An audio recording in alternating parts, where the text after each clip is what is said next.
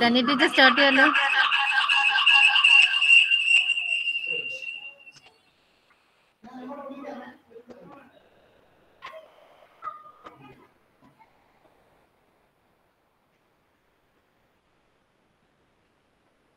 Teacher start ചെയ്യാവോ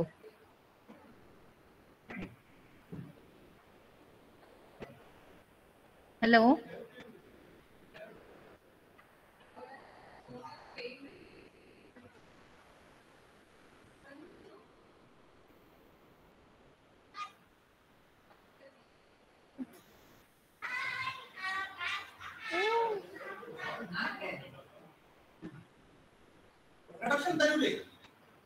ഉം, ഉം, ഉം. ഞാൻ പറയാം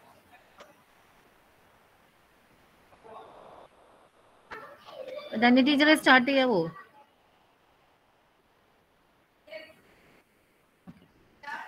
ഓക്കെ ഗുഡ് ആഫ്റ്റർനൂൺ സ്റ്റുഡൻസ് അപ്പോൾ നമ്മുടെ ആഫ്റ്റർനൂൺ സെഷൻ സ്റ്റാർട്ട് ചെയ്യണം അന്നേരം നമ്മൾ രാവിലെ ടെൻ ടു ലെവൻ സെഷന്റെ കണ്ടിന്യൂഷൻ ആയിരിക്കും ഇപ്പോൾ first presentation is by doctor Rahul Subin assistant professor department of zoology I welcome him for the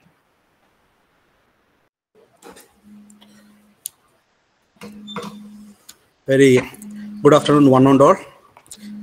Uh, thank you, Dr. Jovi.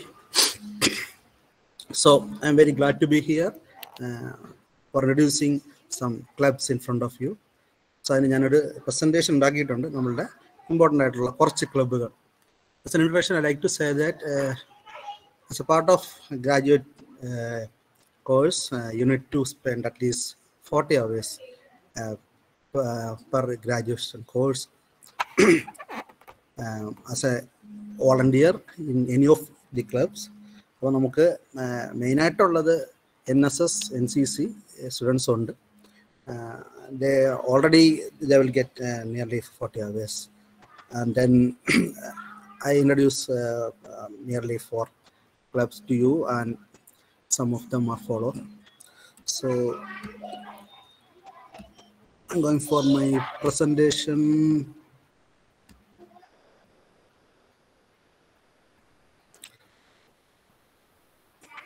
ഞാൻ സ്ക്രീൻ വന്നു.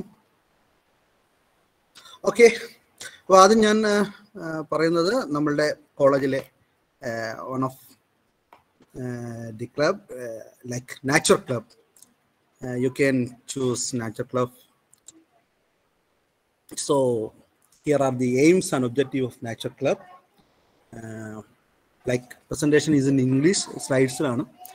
Um, so it is main objective is to organize students involvement in the conservation of environment or nature uh, like its main objective to bring the students nearer to the nature and create awareness among them.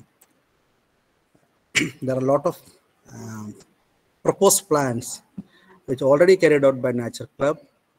Uh, നമ്മളുടെ last two years നമ്മൾ we are in a pandemic situation so നമുക്ക് ഒരുപാട് offline activities മിസ്സായിട്ടുണ്ട് anyway these are some proposed plans if everything is going well uh, we will include this in as a part of nature club uh, main activities uh, uh, workshop or uh, other nature related campaigns. And we can go for um, setting up uh, nature trips and camps and other programs are including the plantation programs or environmental cleanliness uh, programs like um, beach cleaning or campus cleaning or important public place cleaning everything which comes under the nature or related to the environment conservation we can do uh, so uh, like uh, we will celebrate the important dates like World Environmental Day or World Ocean Day. Uh, two years back, we went for beach cleaning, and like we can do nature uh, camp activities, nature uh, related trips, etc., all coming under Nature Club. So this is a small uh, introduction about Nature Club. So myself, Rahul Subin, is a convener of this club, and um, you can either contact your head head of the department or the other committee members are Dr. Kartika, uh, faculty in geography, Prince Raju, faculty in botany, and Dr. Danya of, uh, of biochemistry. Uh, so next club, um, which are doing very well in our college is the science club. So people who are need more uh, or add more or inculcate more scientific at, attitude uh, can join this uh, science club in our campus. Mm, so its objective is to develop training in scientific methods of problem solving by conducting various events and it's uh, like develop the students interest and participation in practical application of the knowledge related to different branches of sciences. Uh, so these are the some of the proposed programs uh, like uh, we can um, as a part of science club we can organize seminars workshops quiz etc related to science. Uh, and already there is uh, like before the pandemic we had a science magazine mandiri magazine in our campus. So it's including the articles from the students as well as faculties uh, these are some of the proposed programs uh, by the science club. And after joining like after um, becoming a group or coming under science club we can think about more uh, fruitful activities so the convener is uh, dr Soumya faculty of biotechnology.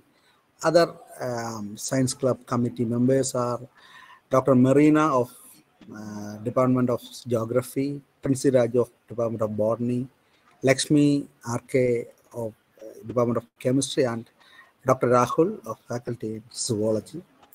And you can contact either the convener or the um, your um, head of the department for joining the science club.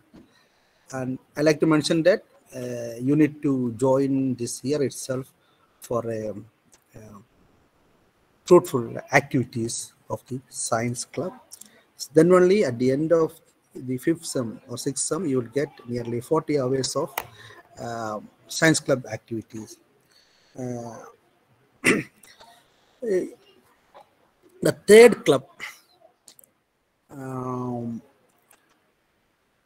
is meant for mainly to the students who are interested in literature or writing skill people who can join the literary and debate club. The main objective is to impart among students a flair language, flair for language, to improve their literary and communication skills, uh, to increase the gen, uh, um, inculcate their reading habit in students, and to encourage students become good orators.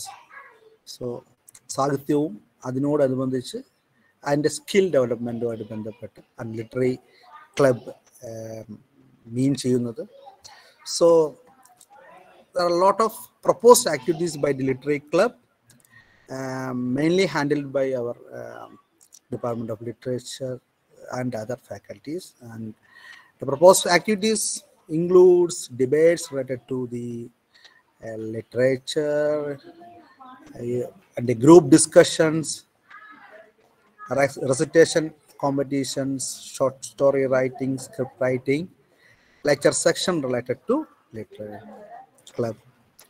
Uh, so the conveners we can say the convener of the literary and debate club is dr josna rajan the faculty of english and other committee members including dr sudhir of chemistry department and Dr. Deepthi of uh, assistant um, faculty in physics.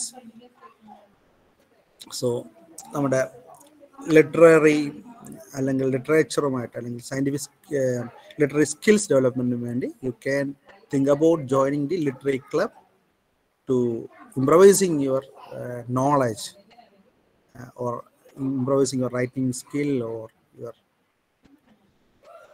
interest. Uh, one more club I like to mention is the Quiz and Debate Club of our college. നമ്മൾ already രണ്ട് മൂന്ന് ക്ലബുകളെ കുറിച്ച് പറഞ്ഞു nature club who are interest in nature and the science and science club and third one the literary club now we are going to talk about the quiz and debate club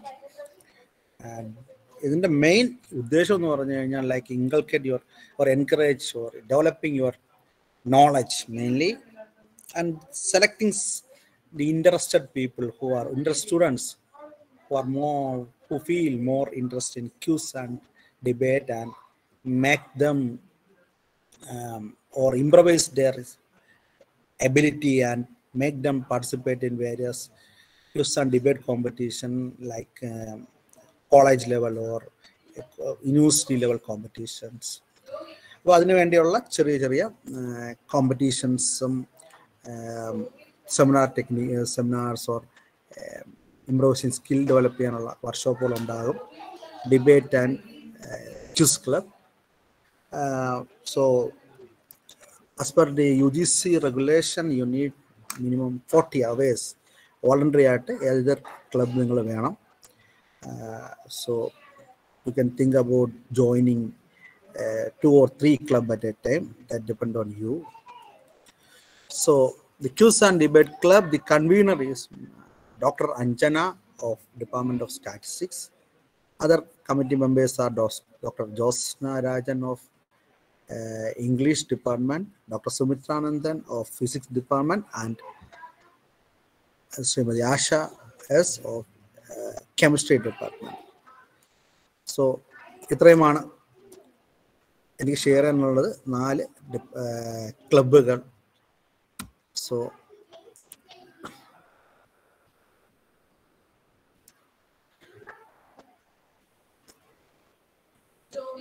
you can so വളരെ ചെറിയ ഒരു up to the point മാത്രമേ പറഞ്ഞിട്ടുള്ളൂ. അപ്പോൾ നിങ്ങൾക്ക് ഈ ക്ലബ്ബുകളിൽ nature ക്ലബ്ബോ സയൻസ് ക്ലബ്ബോ ഡിബേറ്റ് ക്ലബ്ബോ ക്യൂസ് ക്ലബ് ലിറ്ററി ക്ലബ്ബോ ഉണ്ടെങ്കിൽ യു ക്യാൻ ഇൻട്രസ്റ്റഡ് ആണെങ്കിൽ നിങ്ങളുടെ ഹെഡുമായി കോണ്ടാക്ട് ചെയ്യുക. എനിവേ എല്ലാവർക്കും മാൻഡേറ്ററി ആണ് ജോയിൻ ചെയ്യാനായിട്ട്. അപ്പോൾ നിങ്ങൾ ഏതെങ്കിലും ക്ലബ്ബുകളിൽ ഫസ്റ്റ് ഇയർ തൊട്ട് തന്നെ ജോയിൻ ചെയ്യുക വളരെ ആക്റ്റീവായിട്ട് പങ്കെടുക്കുക ഇതൊരു ചെറിയ ഐഡിയ ആണ് ഇതിന് പുറമെ like you have some more thing after club we can think about it and uh, make it a wonderful graduate period by participating in any of these clubs thank you all thank you for listening uh, thank you rahul sir. Uh, next i welcome uh, dr bijida uh, assistant professor department of chemistry for presenting about some uh, academic clubs and committees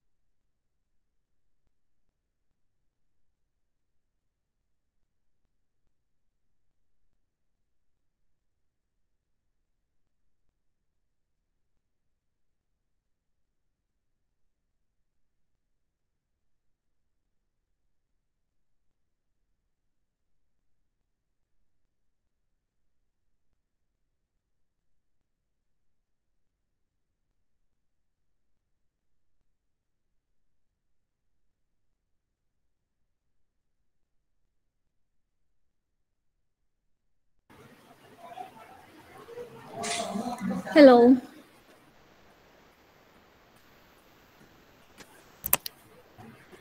Hope you can see and hear me. Good afternoon, everyone. എല്ലാവരും നല്ല ഉറക്കത്തിൽ ആയിരിക്കും എന്ന് വിചാരിക്കുന്നു ഭക്ഷണമൊക്കെ കഴിച്ച് ഉറക്ക ക്ഷീണത്തിലായിരിക്കും ക്ലബിന്റെ ഒക്കെ സാധനങ്ങൾ തലയിൽ കയറുമോ എന്ന് തന്നെ അറിയില്ല എനിവേ ഒത്തിരി ബോറടിപ്പിക്കാതെ ഷോർട്ടായിട്ടും ക്രിസ്പായിട്ടും പറയാൻ ശ്രമിക്കാം okay so I am Dr. Bijita, Assistant Professor in Chemistry. and um, I'm working in this college for the last uh, four years. So ഞാൻ ഇന്ന് പ്രസന്റ് ചെയ്യാൻ പോകുന്നത് ഞാൻ ഉള്ള കുറച്ച് ആക്ടിവിറ്റീസിന് ഞാൻ മീൻ കൺവീനർ ആയിട്ടുള്ള കുറച്ച് ആക്ടിവിറ്റീസും പിന്നെ രണ്ട് മൂന്ന് പുതിയ ആക്ടിവിറ്റീസും clubs I will introduce today okay to you let me share my presentation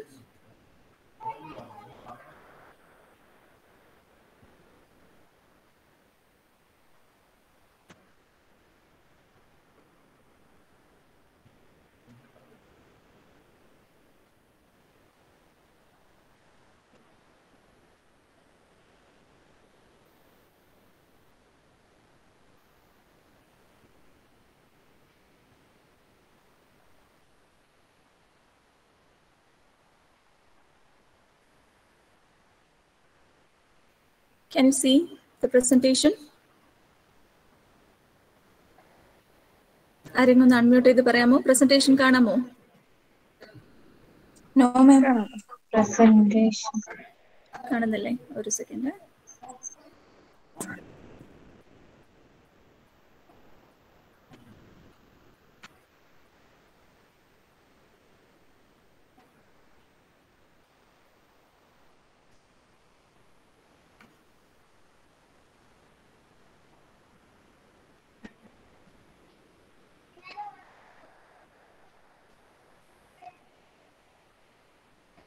okay hope now you yes ma'am ഇപ്പൊ വിസിബിൾ ആണ് Okay. Okay, so let me introduce you uh, the first program, Young Innovators Program. You might have heard about this program already. ഇപ്പം അതിന്റെ registration നടന്നുകൊണ്ടിരിക്കുന്ന ഒരു stage ആണ് ഫെബ്രുവരി പതിനഞ്ച് വരെ അതിന്റെ രജിസ്ട്രേഷൻ നീട്ടിയിട്ടുണ്ട് ഓക്കെ അപ്പം യങ് ഇന്നോവേറ്റേഴ്സ് പ്രോഗ്രാം എന്ന് പറയുന്നത് ഇത്രയാണ് അതായത് നിങ്ങൾക്ക് എന്തെങ്കിലും പുതിയ ആശയങ്ങൾ ഉണ്ടെങ്കിൽ അത് നിങ്ങൾക്ക് പ്രാവർത്തികമാക്കാനും അത് വികസിപ്പിച്ചെടുക്കാനും വേണ്ട സാമ്പത്തിക സഹായം ഗവൺമെന്റിൽ നിന്നും ലഭിക്കുന്ന ഒരു പുതിയൊരു പദ്ധതിയാണ് ഈ യങ് ഇന്നോവേറ്റേഴ്സ് പ്രോഗ്രാമിൽ വരുന്നത്. അപ്പം ഇതിൽ എന്ന് വെച്ചാൽ നിങ്ങൾ ഐഡിയാസ് കൊടുക്കുന്ന എല്ലാവർക്കും സാമ്പത്തിക സഹായം നൽകും എന്നല്ല ഇതിന് മൂന്ന് ഫേസസിലാണ് ഈ ഒരു പ്രോഗ്രാം പോകുന്നത്. അപ്പൊ ഫസ്റ്റ് ഫേസിൽ അവർ ഒരു എയ്റ്റ് തൗസൻഡോളം ആൾക്കാർ സെലക്ട് ചെയ്യും. അവർക്കൊരു റിവാർഡ് കൊടുക്കുന്നത് ട്വന്റി ഫൈവ് തൗസൻഡ് ആണ് കൊടുക്കുന്നത്. പിന്നെ അതിൽ നിന്നും സെക്കൻഡ് ഫേസിലേക്ക് ഒരു ടു തൗസൻഡ് ടീംസിനെ അവർ സെലക്ട് ചെയ്യും. അവർക്ക് കൊടുക്കുന്നത് ഫിഫ്റ്റി തൗസൻഡ് റുപ്പീസ് ആണ്. തേർഡ് ഫേസിൽ അതായത് ഈ ടു തൗസൻഡിന് വീണ്ടും അവർ എന്താ പറയാ കട്ട് ഷോർട്ട് ചെയ്തിട്ട് നയൻ ഹൺഡ്രഡ് ടീംസിന് അവർ ഫൈനൽ അതായത് ഈ പറയുന്ന സാമ്പത്തിക സഹായവും മെന്ററിംഗ് ഒക്കെ കൊടുക്കുന്നത് ഈ തേർഡ് ഫേസിൽ എത്തുന്നവർക്കാണ്. അപ്പം നിങ്ങൾ ഇപ്പൊ ചെയ്യേണ്ടത് ഇത്രയാണ്. ഇപ്പൊ സ്റ്റുഡൻസ് രജിസ്ട്രേഷൻ ഓപ്പൺ ആണ്. അത് എല്ലാവരും ചെയ്യേണ്ട ഒന്നാണ്. അതായത് എല്ലാ സ്റ്റുഡൻസും ഇൻഡിവിജ്വൽ ആയിട്ട് ചെയ്യേണ്ട ഒന്നാണ് സ്റ്റുഡൻസ് രജിസ്ട്രേഷൻ ഓക്കെ അത് കഴിഞ്ഞു കഴിഞ്ഞാൽ നിങ്ങൾക്ക് ഒരു ടീംസ് ആയിട്ട് ഫോം ചെയ്യാം. അതായത് മാക്സിമം ആ ടീമിൽ അഞ്ച് പേരാണ് ഉൾപ്പെടുത്താൻ പറ്റുക. അപ്പം രണ്ട് പേരടങ്ങുന്ന ടീം ആവാം മൂന്ന് പേര് മാക്സിമം അഞ്ച് പേര്. അപ്പൊ നിങ്ങൾക്ക് നിങ്ങളുടെ എന്തെങ്കിലും ഒരു ഐഡിയ ഐഡിയ എന്ന് പറയുമ്പോൾ ഇപ്പൊ സപ്പോസ് എന്തെങ്കിലും ഒരു പുതിയൊരു പ്രോഡക്റ്റ് ആവാം ഇല്ലെങ്കിൽ നിങ്ങൾക്ക് ഇപ്പൊ നമ്മൾ കേരളം നേരിടുന്ന എന്തെങ്കിലും പ്രശ്നങ്ങളുടെ എന്തെങ്കിലും ഒരു സൊല്യൂഷൻ പ്രപ്പോസ് ചെയ്യാം അതെല്ലാം ഐഡിയാസ് ആണ്. ഓക്കെ അപ്പൊ അങ്ങനെ എന്തെങ്കിലും ഒരു ഐഡിയാസ് ഉണ്ടെങ്കിൽ നിങ്ങൾക്ക് ടീംസ് ആയിട്ട് you can post your idea അപ്പൊ പക്ഷേ ഐഡിയ പോസ്റ്റ് ചെയ്യുന്ന മുമ്പ് നിങ്ങൾ ഇൻഡിവിജ്വൽ സ്റ്റുഡന്റ് രജിസ്ട്രേഷൻ ചെയ്യണം. പക്ഷെ ഐഡിയ പോസ്റ്റ് ചെയ്യാൻ നിങ്ങൾക്ക് ഗ്രൂപ്പ് ആവാം. ആ ഗ്രൂപ്പിൽ ഏതെങ്കിലും ഒരാളായിരിക്കും മെയിൻ ആയിട്ടുള്ള ഒരു ലീഡർ ഉണ്ടാവും അല്ലെ? അപ്പം ആളുടെ പേരിലായിരിക്കും നിങ്ങൾ ഐഡിയാസ് പോസ്റ്റ് ചെയ്യുന്നത്. അപ്പം ഞാൻ ഈ സ്ലൈഡ്സിൽ കാണിച്ചിരിക്കുന്ന അത്രയും ഏരിയാസ് അവർ പ്രപ്പോസ് ചെയ്തിട്ടുണ്ട്. കൃഷി മൃഗസംരക്ഷണം അങ്ങനെ കുറെ കാര്യങ്ങൾ. ആക്ച്വലി ഞാൻ കഴിഞ്ഞ ദിവസം ഒരു വെബിനാർ ഉണ്ടായിരുന്നു. വൈ എ പിയുടെ ഒരു വെബിനാർ നമ്മുടെ കോളേജിന് വേണ്ടി സ്പെഷ്യലായിട്ട് കണ്ടക്ട് ചെയ്തിട്ടുണ്ടായിരുന്നു. കുറെ പേര് അത് കേട്ടിട്ടുണ്ടാവും എന്ന് വിചാരിക്കുന്നു. അപ്പം അത് കൂടാതെ തന്നെ നിങ്ങൾ രജിസ്ട്രേഷൻ ചെയ്ത് കഴിയുമ്പോൾ തന്നെ നിങ്ങൾക്കൊരു ഇത് വരും. വോയിസ് വീഡിയോ ഒക്കെ വരുന്നുണ്ട്. അപ്പൊ നിങ്ങൾക്ക് അതിൽ എല്ലാ എന്താ പറയാ എല്ലാ നോട്ടിഫിക്കേഷൻസും എന്തൊക്കെയാ ചെയ്യേണ്ടതെന്നും എല്ലാം ആ വീഡിയോയിൽ വ്യക്തമായിട്ട് പറഞ്ഞു തരുന്നുണ്ട്. അപ്പം അത് കഴിവതും എല്ലാവരും ചെയ്യാൻ ശ്രമിക്കുക. ഇപ്പൊ നമ്മുടെ കോളേജിന്റെ ഇപ്പൊ പ്രസന്റ് സ്റ്റാറ്റസ് പറഞ്ഞുവാണെങ്കിൽ അറുപത്തൊന്ന് പേ സ്റ്റുഡൻസ് ആണ് രജിസ്റ്റർ ചെയ്തിരിക്കുന്നത്. അപ്പം ഐഡിയാസ് ഒക്കെ പോസ്റ്റ് ചെയ്തുകൊണ്ടിരിക്കുവാണ് കുട്ടികൾ. വിളിച്ചിട്ടുണ്ടായിരുന്നു. ഓക്കെ ആണോ എന്നൊക്കെ ചോദിച്ചിട്ട് വിളിച്ചിട്ടുണ്ടായിരുന്നു. അപ്പം നിങ്ങൾക്ക് ഇനിയും സമയമുണ്ട്. ഫെബ്രുവരി പതിനഞ്ച് വരെ നിങ്ങളുടെ സമയമുണ്ട്. അപ്പം ഇത് അവർ പറഞ്ഞിരിക്കുന്നത് ജസ്റ്റ് ഒരു ഏരിയയിൽ ഒരു എക്സാമ്പിൾ വെച്ച് പറയാൻ അവർ തീംസിൽ അഗ്രികൾച്ചർ ഒരു മെയിൻ ഏരിയ ആണ്. അപ്പൊ ഫോർ എക്സാമ്പിൾ അഗ്രികൾച്ചർ എടുക്കുവാണെങ്കിൽ അതിൽ എന്തൊക്കെയാണ് മെയിൻ ചാലഞ്ചസ് വി ഫേസ് അല്ലെ huge financial losses from unexpected climate condition ആവാം lack of access to technology lack of system quality control outdated marketing strategy not utilizing tissue അങ്ങനെ കുറേ challenges agriculture എടുക്കുവാണെങ്കിൽ ഉണ്ട്. അപ്പൊ അതിൽ ഏതെങ്കിലും ഒന്നിന് നിങ്ങൾക്ക് ഒരു സൊല്യൂഷൻ ഒരു നോവൽ ഐഡിയ സജസ്റ്റ് ചെയ്യാൻ പറ്റുമെങ്കിൽ that is you can post it in the Y I P okay അപ്പൊ ഇത് ഇതൊരു എക്സാമ്പിൾ ആയിട്ട് പറഞ്ഞതേ ഉള്ളൂ. അതുപോലെ you have different areas in Y I P അപ്പം ഐഡിയ നിങ്ങൾ മനസ്സിൽ തന്നെ ഐഡിയ ആയിട്ട് റിമൈൻ ചെയ്താൽ അത് nobody is going to know that അല്ലേ? So try it experiment let it sometimes it may change the world അല്ലേ? You don't know that now അപ്പൊ നിങ്ങൾ എല്ലാവരും മിന്നൽ മുരളി മിന്നൽ മുരളി കണ്ടിട്ടുണ്ടാവും എന്ന് വിചാരിക്കുന്നു. അപ്പൊ പെട്ടെന്ന് തന്നെ ഡ്യൂപ്ലിക്കേറ്റ് മിന്നൽ മുരളി വരുമ്പോഴേക്കും ഒറിജിനൽ മിന്നൽ മുരളിയായിട്ട് എന്ത് ചെയ്യാം വേഗം ഓടിപ്പോയി നിങ്ങളുടെ ഐഡിയ പ്രസന്റ് ചെയ്യാം. അടുത്ത ഇനിഷ്യേറ്റീവ്സ് എന്ന് പറയുന്നത് നമ്മുടെ ഹയർ എഡ്യൂക്കേഷനിലെ മൂന്ന് മെയിൻ പ്രോഗ്രാംസ് ആണ്. Scholar support program ASAP additional skill acquisition program walk with scholar program അതിൽ ഇപ്പം കോവിഡ് തുടങ്ങിയ പിന്നെ ഈ വാക്ക് വിത്ത് സ്കോളറും സ്കോളർ സപ്പോർട്ട് പ്രോഗ്രാമും തൽക്കാലം നിർത്തി വെച്ചിരിക്കുകയാണ് ഗവൺമെന്റ് അസാപ്പ് പ്രോഗ്രാം ഇപ്പൊ വേറൊരു അസാപ്പ് സെൽ എന്ന് പറഞ്ഞ ഒരു പ്രോഗ്രാം ആയിട്ട് പോകുന്നുണ്ട്. എസ് എസ് പി എന്ന് പറഞ്ഞാൽ ഇത്രയായിരുന്നു. അതായത് ക്ലാസ്സിൽ ഇപ്പം കുറച്ച് അക്കാഡമിക്കലി വീക്ക് ആയിട്ടുള്ള സ്റ്റുഡൻസിന് ഐഡന്റിഫൈ ചെയ്ത് അവർക്ക് സ്പെഷ്യൽ ആയിട്ട് ക്ലാസ് അവേഴ്സ് അല്ലാതെ ഒരു ആഫ്റ്റർനൂണോ ഇല്ലെങ്കിൽ ആഫ്റ്റർ ക്ലാസ് അവേഴ്സോ അവർക്ക് സ്പെഷ്യൽ ആയിട്ടുള്ള ഒരു എന്താ പറയാ ഒരു റെമിഡിയൽ ക്ലാസ് കൊടുക്കുന്ന ഒരു സിസ്റ്റം ആയിരുന്നു എസ് എസ് ബി കൂടാതെ പുറത്തുനിന്നുള്ള എക്സ്റ്റേണൽ മെന്ററിംഗ് ക്ലാസ്സസ് ഉണ്ടായിരുന്നു. Like I T skill life skills പിന്നെ preparation for government P S C ടെസ്റ്റുകളൊക്കെ എഴുതാനൊക്കെ ഹെൽപ്പ് ചെയ്യുക അങ്ങനത്തെ കുറെ സാധനങ്ങളൊക്കെ ഉണ്ടായിരുന്നു. ചെറിയൊരു സാമ്പത്തിക സഹായവും അതിലുണ്ടായിരുന്നു. ഇപ്പം സ്കോളർ സപ്പോർട്ട് പ്രോഗ്രാം ഇല്ല. May be it can come അതേപോലെ വാക്ക് വിത്ത് സ്കോളർ എന്ന് പറയുമ്പോൾ കുറച്ചും കൂടി ഡിഫറെന്റ് ആയിട്ടുള്ള പ്രോഗ്രാം ആണ്. അത് അക്കാഡമിക്കലി കുറച്ചും കൂടി ബ്രൈറ്റ് ആയിട്ടുള്ള കുട്ടികൾക്ക് കുറച്ചും കൂടെ അതായത് ഒരു മെന്റർ ഒരു ഗൈഡ് ആൻഡ് ഫ്രണ്ട് ആയിട്ടുള്ള ഒരു മെന്ററിന്റെ ഒരു പ്രസൻസിൽ ഗൈഡ് ചെയ്ത് പോവുക എന്നുള്ളതാണ്. അത് ഡിഫറെന്റ് ടോപ്പിക്സിന് ക്ലാസ് എടുക്കുന്ന മെന്റേഴ്സും ഇവിടുത്തെ ഇന്റേണൽ ഫാക്കൽറ്റീസും ക്ലാസ് എടുക്കുന്നുണ്ട്. അതേപോലെ തന്നെ പുറത്തു നിന്ന് സബ്ജക്ട് എക്സ്പേർട്സ് ഡിഫറെന്റ് സബ്ജക്ട്സ് ഇപ്പൊ ഫോർ എക്സാമ്പിൾ കഴിഞ്ഞ കോവിഡിന് തൊട്ട് മുമ്പുള്ള വർഷം റിസർച്ച് ആ വർഷത്തെ ഒരു ഹോട്ട് ടോപ്പിക് എന്ന് പറയുന്നത് റിസർച്ച് ആയിരുന്നു. റിസർച്ച് ഏരിയയിൽ കുറെ കാര്യങ്ങൾ പറഞ്ഞു തരിക അപ്പൊ അങ്ങനത്തെ ഒക്കെ ആയിരുന്നു തൊട്ട് മുമ്പത്തെ വർഷം ഉണ്ടായിരുന്നു ഈ പിന്നെ അത് മാത്രമല്ല ഈ കുട്ടികൾക്ക് വേണ്ടിയുള്ള based on subjects study tour പോലത്തെ ടൂറും കണ്ടക്ട് ചെയ്യുന്നുണ്ടായിരുന്നു. അപ്പൊ ഈ ഒരു രണ്ട് പ്രോഗ്രാം ഇപ്പം നിലവിലില്ല. ഡബ്ല്യു ഡബ്ല്യു എസിന്റെ കൺവീനർ അശ്വിനിയാണ്. എസ് എസ് പിയുടെ കൺവീനർ ഞാനാണ്. ഇപ്പം ഉള്ള പ്രോഗ്രാം എന്ന് പറയുന്നത് അസാപ്പ് അസാപ്പിന്റെ ഒരു രൂപം ഇപ്പം വാട്സപ്പിലേക്ക് തൽക്കാലം ഒതുങ്ങിയിരിക്കുകയാണ്. ഒരു വാട്സപ്പ് ഗ്രൂപ്പ് ഫോം ചെയ്തു. അതിനകത്ത് കുറച്ച് സ്റ്റുഡൻസ് രജിസ്റ്റർ ചെയ്തിട്ടുണ്ട് എന്നാണ് അസാപ്പിന്റെ കോർഡിനേറ്റർ ലക്ഷ്മി പറഞ്ഞിട്ടുള്ളത്. അപ്പൊ ഇത് ഇപ്പം ഈ ഒരു വാട്സപ്പ് ഗ്രൂപ്പിന്റെ ഉദ്ദേശം നിങ്ങൾക്ക് എന്തെങ്കിലുമൊക്കെ സെഷൻസ് ഒക്കെ ഇൻട്രസ്റ്റിംഗ് സെഷൻസ് യൂസ്ഫുൾ സെഷൻസ് വരുമ്പം നിങ്ങൾ അറിയിക്കും അവർ. അപ്പം നിങ്ങൾക്ക് അതിൽ വാച്ച് ചെയ്യാം. ട്രെയിനിങ് പ്രോഗ്രാംസ് അങ്ങനത്തെ കാര്യങ്ങളൊക്കെ വരുന്നു അപ്പൊ കുറച്ച് ഇവന്റ്സ് പിന്നെ മാത്രമല്ല അതിനകത്ത് ഇപ്പൊ അവർ അലുമിനീസിനെല്ലാം ഇൻക്ലൂഡ് ചെയ്യുന്നുണ്ട്. അപ്പോൾ അലുമിനി ആയിട്ട് കണക്ട് ചെയ്തിരിക്കുക അവർക്കും ഫ്യൂച്ചറിൽ നിങ്ങളെ ഹെൽപ്പ് ചെയ്യാൻ സാധിക്കുമെങ്കിൽ അല്ലെങ്കിൽ നിങ്ങൾ ഫ്യൂച്ചറിൽ അതിൽ അലുമിനി ആയിരിക്കും. അപ്പൊ അങ്ങനെ ഒരു കണക്ഷൻ അതും കൂടാണ് അവർ ഉദ്ദേശിക്കുന്നത്. അപ്പം അതാണ് അസാപ്പ് അപ്പൊ I think forty five students ഈ നമ്മുടെ കോളേജിൽ നിന്ന് രജിസ്റ്റർ ചെയ്തിട്ടുണ്ട് അസാപ്പ് എന്നാണ് മനസ്സിലാക്കുന്നത്. പക്ഷെ ഇപ്പം അത് അസാപ്പ് സെൽ എന്ന് പറഞ്ഞിട്ട് വാട്സപ്പിൽ ഒരു ഓൺലൈൻ മോഡിലാണ് ഇപ്പം ഇത് റൺ ചെയ്യുന്നത്.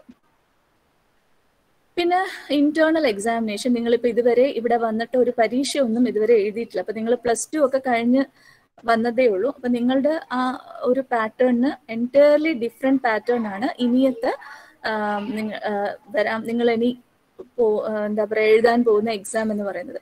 അപ്പം ഇന്റേണൽ എക്സാമിനേഷന് നമ്മളൊരു മോഡൽ എക്സാമിന്റെ രൂപത്തിൽ നടത്തുന്നുണ്ട്. Same pattern as a university examination okay അപ്പൊ നിങ്ങൾക്ക് ഒരു ഐഡിയ കിട്ടും. എന്തൊക്കെയാണ് എങ്ങനെയൊക്കെയാണ് ക്വസ്റ്റ്യൻ ചോദിക്കുന്നത് നിങ്ങൾക്കൊരു ഐഡിയ ഉണ്ടാവും. അപ്പം നിങ്ങൾക്ക് അറിയാലോ നൂറ് മാർക്കാണ് ഒരു പേപ്പറിനുള്ളത് അതിൽ എയ്റ്റി മാർക്സ് എക്സ്റ്റേണലും അതായത് നിങ്ങൾ എക്സാം എഴുതി കിട്ടുന്നതും ബാക്കി ട്വന്റി മാർക്സ് എന്ന് പറയുന്നത് ഇന്റേണൽ മാർക്സ് ആണ്. അപ്പൊ ആക്ച്വലി ആ ട്വന്റി മാർക്സിൽ പത്ത് മാർക്ക് ടെസ്റ്റ് അഞ്ച് മാർക്ക് അറ്റൻഡൻസ് അഞ്ച് മാർക്ക് അസൈൻമെന്റ് എന്നാണ് നേരത്തെ ഡിസ്ട്രിബ്യൂട്ട് ചെയ്യുന്നത്. പക്ഷെ ഇപ്പോൾ ഒരു കോവിഡ് കാലഘട്ടത്തിൽ അറ്റൻഡൻസ് അത്രയും ഇമ്പോർട്ടന്റ് ആക്കാത്തതുകൊണ്ട് അറ്റൻഡൻസ് എടുത്ത് മാറ്റിയിട്ടുണ്ട്. എന്നാലും നിങ്ങൾ ആവറേജ് പെർഫോമൻസ് എങ്ങനെ ഉണ്ടെന്ന ബേസ് ആണ് ഈ ഒരു ഇരുപത് മാർക്ക് നിങ്ങൾക്ക് ഇവിടുന്ന് കിട്ടുന്ന മാർക്ക് ബാക്കി എൺപത് മാർക്ക് നിങ്ങൾ എക്സാം എഴുതി വാങ്ങുന്ന മാർക്കാണ് അപ്പം ഈ ക്വസ്റ്റ്യൻ പേപ്പറിന്റെ പാറ്റേൺ എൺപത് മാർക്കിന്റെ ക്വസ്റ്റ്യൻ പേപ്പറിന്റെ പാറ്റേൺ എന്ന് പറയുന്നത് നിങ്ങൾക്ക് വൺ മാർക്കിന്റെ ക്വസ്റ്റ്യൻ അത് കമ്പൽസറി ക്വസ്റ്റ്യൻസ് ആണ് വൺ മാർക്കിന്റെ പിന്നെ ടു മാർക്സിന്റെ ക്വസ്റ്റ്യൻ എട്ടെണ്ണം എഴുതണം ഫോർ മാർക്സിന്റെ ആറെണ്ണം എഴുതണം പതിനഞ്ച് മാർക്കിന്റെ രണ്ട് എസ് എ എഴുതണം.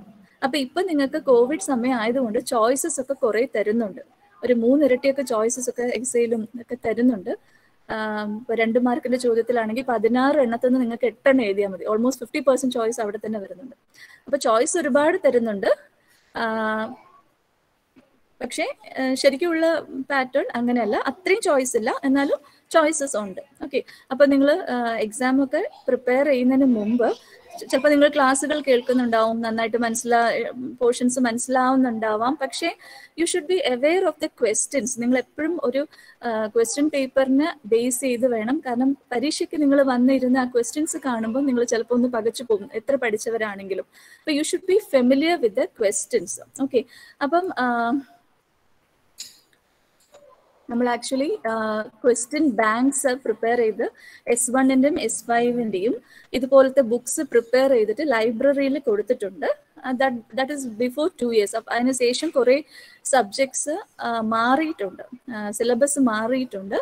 അപ്പം എന്നാലും കുറെ ഇപ്പോൾ ഫോർ എക്സാമ്പിൾ കെമിസ്ട്രി അങ്ങനത്തെ ബേസിക് സബ്ജക്ട്സിന്റെ ഒന്നും അങ്ങനെ ഒരുപാടൊന്നും മാറിയിട്ടില്ല. അപ്പൊ അങ്ങനത്തെ ക്വസ്റ്റ്യൻസ് എല്ലാം ഈ if you go to library you can avail for example S one P C A ആണെങ്കിൽ എസ് വൺ പി സി എന്ന് പറഞ്ഞിട്ടൊരു ബുക്ക് കാണാം. ക്വസ്റ്റ്യൻ ബാങ്ക് കാണാം. എസ് വൺ സ്റ്റാറ്റിസ്റ്റിക്സ് ആണെങ്കിൽ എസ് വൺ സ്റ്റാറ്റിസ്റ്റിക്സ് ഒരു ബുക്ക് കാണാം. നിങ്ങൾക്ക് എന്തൊക്കെയാണോ വിഷയങ്ങളുള്ളത് ആ വിഷയങ്ങളുടെ ഒക്കെ ക്വസ്റ്റ്യൻ പേപ്പർ അതിനകത്തുണ്ട്. പക്ഷെ പഴയ ക്വസ്റ്റ്യൻ പേപ്പറാണ് ഇപ്പം മാറിയ സിലബസ് അനുസരിച്ചുള്ള ക്വസ്റ്റ്യൻ പേപ്പർ ഇല്ല. അപ്പൊ അതിന് വേണ്ടിയിട്ട് ഇപ്പം വി ആർ ആക്ച്വലി ഡൂയിങ് എന്താ പറയാ വെബ്സൈറ്റിൽ അപ്ഡേറ്റ് ചെയ്യാൻ വേണ്ടിയുള്ള ശ്രമത്തിലാണ്. ഇപ്പൊ എസ് വണ്ണിന്റെ ഓൾമോസ്റ്റ് റെഡി ആയിട്ടുണ്ട്. നമ്മൾ ഉടനെ തന്നെ വെബ്സൈറ്റിൽ അത് അപ്ഡേറ്റ് ചെയ്യുന്നതാണ് ക്വസ്റ്റ്യൻ പേപ്പേഴ്സ് അപ്പൊ നിങ്ങൾക്ക് ഇനി ഡയറക്ട്ലി വെബ്സൈറ്റിൽ നിന്ന് തന്നെ നിങ്ങളുടെ ക്വസ്റ്റ്യൻ പേപ്പേഴ്സ് കിട്ടുന്നതാണ്. ഓക്കെ അപ്പോൾ that's about the internal examination and continuous continuous evaluation എന്ന് പറയുന്നത് സി മാർക്സ് എന്ന് പറയും. അതായത് നിങ്ങളുടെ ഈ ഇരുപത് മാർക്ക് കിട്ടുന്നുണ്ടല്ലോ. ഇന്റേണലി കിട്ടുന്ന മാർക്ക് ഉണ്ടല്ലോ. അതിനെയാണ് സി മാർക്സ് എന്ന് പറയുന്നത്. ഓക്കെ അത് നിങ്ങൾക്ക് ഇവിടുന്ന് കിട്ടുന്ന മാർക്കാണ് എൺപത് മാർക്ക് നിങ്ങൾക്ക് യൂണിവേഴ്സിറ്റി തരുന്ന മാർക്കാണ് അത് നിങ്ങൾ നേടുന്ന മാർക്ക് തന്നെയാണ്. പിന്നെ അടുത്ത് വരുന്നത് അക്കാഡമിക് പ്രോഗ്രാം കമ്മിറ്റി അതിന്റെ കൺവീനർ ഞാൻ തന്നെയാണ്. അപ്പം അതിൽ കഴിഞ്ഞ കഴിഞ്ഞ ദിവസം സ്റ്റുഡന്റ് സെമിനാർ സീരീസ് ഉണ്ടായിരുന്നു. I mean in the form of webinar ആയിരുന്നു. നിങ്ങൾ കുറച്ച് പേരൊക്കെ അതിനകത്ത് കയറിയിട്ടുണ്ടാവും എന്ന് വിചാരിക്കുന്നു. കേട്ടിട്ടുണ്ടാവും. നിങ്ങളുടെ ഡിപ്പാർട്ട്മെന്റിലെങ്കിലും കേട്ടിട്ടുണ്ടാവും. അപ്പൊ ഇതൊരു എന്താ പറയാ എല്ലാ ഡിപ്പാർട്ട്മെന്റിലെയും ഓരോ സ്റ്റുഡന്റും ഒരു കോമൺ ടോപ്പിക് ഓഫ് ഇൻട്രസ്റ്റ് അതായത് അവരുടെ സബ്ജക്റ്റ് തന്നെ ആയിരിക്കും പക്ഷെ എല്ലാവർക്കും കേൾക്കാവുന്ന അല്ലെങ്കിൽ എല്ലാവർക്കും മനസ്സിലാവുന്ന ഒരു ടോപ്പിക് ചൂസ് ചെയ്തിട്ട് അതിൽ എന്താ പറയുക ഒരു പ്രസന്റേഷൻ കൊടുക്കുകയാണ് ചെയ്യുന്നത്. അപ്പം നിങ്ങൾ സാധാരണ നിങ്ങൾ ഡിപ്പാർട്ട്മെന്റിൽ നിങ്ങൾക്ക് പ്രസന്റേഷൻസ് ഒക്കെ ഉണ്ടാവാറുണ്ട്. അപ്പം അത് പക്ഷെ നിങ്ങൾ ഡിപ്പാർട്ട്മെന്റിൽ ഒതുങ്ങാറാണ് പതിവ്. അപ്പം ഇത് ഈ ഒരു പ്രസന്റേഷൻ എന്ന് പറയുന്നത് നിങ്ങൾക്ക് എല്ലാവരും നിങ്ങൾക്ക് all the departments will be watching you so അത് മറ്റുള്ള സബ്ജക്ട്സിനെ കുറിച്ചും നിങ്ങൾക്ക് നല്ലൊരു ഐഡിയ കിട്ടും.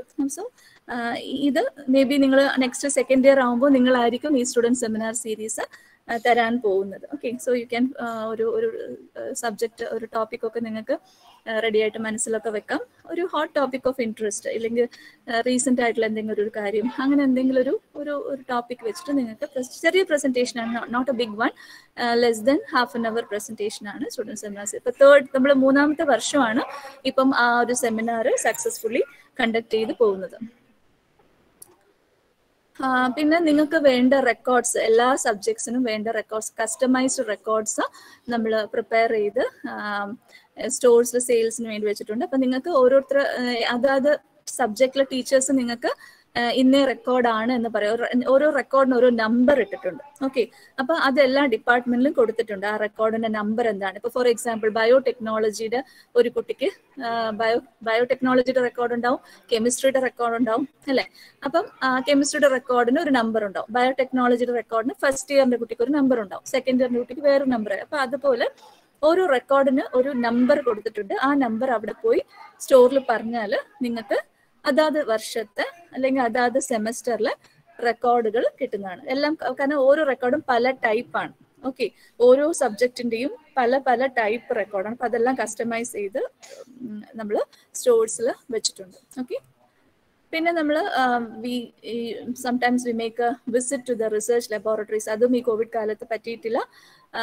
ലാബ് ഒക്കെ റെസ്ട്രിക്റ്റഡ് എൻട്രി ആയതുകൊണ്ട് നമുക്കത് പോകാൻ പറ്റിയിട്ടില്ല. Hope we can visit soon like open days ഒക്കെ വരും പല ലാബ്സിലും അല്ലെങ്കിൽ റിസർച്ച് ഇൻസ്റ്റിറ്റ്യൂഷൻസിൽ ചില ദിവസം അവർ ഓപ്പൺ ഡേ ആയിട്ട് സെലിബ്രേറ്റ് ചെയ്യുന്നത് വെച്ചാൽ it will be open for the public അപ്പൊ നമുക്ക് പോയിട്ട് അവിടെ എന്താ നടക്കുന്നത് അങ്ങനത്തെ ഒക്കെ കാണാനായിട്ടൊക്കെ സാധിക്കും. അപ്പൊ അതിന് താല്പര്യമുള്ള കുട്ടികൾക്കും വി ക്യാൻ ഗോ പിന്നെ ഇൻഫർമേഷൻ പോയിന്റ് ഞാൻ മുമ്പ് തുടങ്ങിയ ഒരു കാര്യമായിരുന്നു. അതായത് എന്തെങ്കിലും ഇത് ആക്ച്വലി ആ സമയത്ത് അതായത് നോബൽ പ്രൈസ് കിട്ടിയ സമയത്ത് ആ ഡിഫറെന്റ് ഏരിയാസ് എല്ലാം പ്രൊജക്ട് ചെയ്ത് ഒരു പോസ്റ്റർ ആക്കി ഇവിടെ പ്രസന്റ് ചെയ്ത ഒരു കാര്യമായിരുന്നു. അപ്പൊ ഇത് വീണ്ടും എനിക്ക് ഇത് റിവൈവ് ചെയ്യണം എന്ന് ആഗ്രഹമുണ്ട്. നമുക്ക് മേ ബി എസ് വൺ സ്റ്റുഡൻസിന് അത് ഈസി ആയിട്ട് ചെയ്യാൻ പറ്റും. എല്ലാ വീക്കും ഇല്ലെങ്കിൽ at least once in a month you can make a big poster ഓരോ ക്ലാസ്സിന് ഓരോ ബിഗ് പോസ്റ്റർ ഉണ്ടാക്കിയിട്ട് you can exhibit in the front of our uh, principal room ഇല്ലെങ്കിൽ front of our main building you can exhibit that. Okay? uh, that we will resume soon. ഇത്രയാണ്. ഇത്രയൊക്കെയാണ് ഞാൻ convener ആയിട്ടുള്ള ക്ലബ്സിന്റെ കാര്യങ്ങൾ. അത് കൂടാതെ ഞാൻ I will introduce you to more new clubs ഇത് ഓൺടർപ്രണർഷിപ്പ് ഡെവലപ്മെന്റ് ക്ലബ്ബാണ് എന്ന് വെച്ചാൽ ഇതിന്റെ മെയിൻ ഓബ്ജക്റ്റീവ് എന്ന് പറയുന്നത് to infuse creativity and innovation among the students of college അപ്പൊ state government is encouraging to promote entrepreneurship സ്റ്റുഡൻസിന്റെ ഇടയിൽ സംരംഭകത്വം എൻകറേജ് ചെയ്യുന്നുണ്ട് ഇപ്പം. അപ്പം അതിന് വേണ്ടിയുള്ള ഒരു ക്ലബ്ബാണ് it's a new new one actually അതിന്റെ കൺവീനർ എന്ന് പറയുന്നത് അഞ്ചു ടീച്ചറാണ് അപ്പൊ അതിന്റെ എന്തെങ്കിലും പ്രോഗ്രാംസ് ഒക്കെ ഫ്യൂച്ചറിൽ വരുന്നതായിരിക്കും.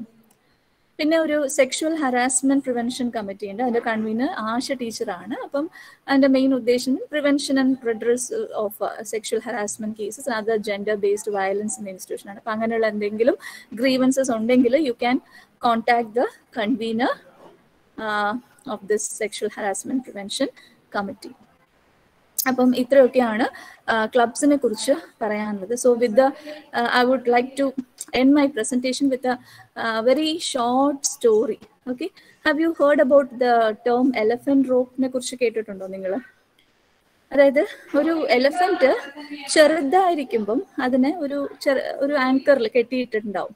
അപ്പൊ അപ്പൊ അതിന് ആ ആങ്കറിന് വിട്ടു പോരാൻ പറ്റത്തില്ല. പക്ഷേ അത് വലുതായി കഴിയുമ്പോഴും it is it doesn't know അത് അത് അപ്പോഴും അതേ ഇതിൽ കണക്ട് ചെയ്തിരിക്കുവാണ് അതിന്. പക്ഷെ ആ ആനയുടെ വിചാരം അതിപ്പോഴും അത് ബന്ധനത്തിലാണ് അതിന് അവിടുന്ന് പോരാൻ പറ്റില്ല എന്നുള്ള ഒരു ഫീലിംഗ് ആണ് എന്താ പറയാ അതിന് അവിടെ തന്നെ നിർത്തുന്നത് അല്ലെ? അതിന്റെ ശക്തി അത് അറിയുന്നില്ല. അതിന് വിത്തിൻ ഒരു കാലം കൊണ്ട് ഒന്ന് വലിച്ചാൽ അങ്ങ് പോരാവുന്നതേ ഉള്ളൂ. പക്ഷെ അത് അറിയുന്നില്ല. ചെറുപ്പം തൊട്ട് അത് അങ്ങനെ ട്രെയിൻഡ് ആയിരിക്കുവാണ്. അതിന് പോരാൻ പറ്റില്ല എന്നാണ് അത് വിചാരിക്കുന്നത്.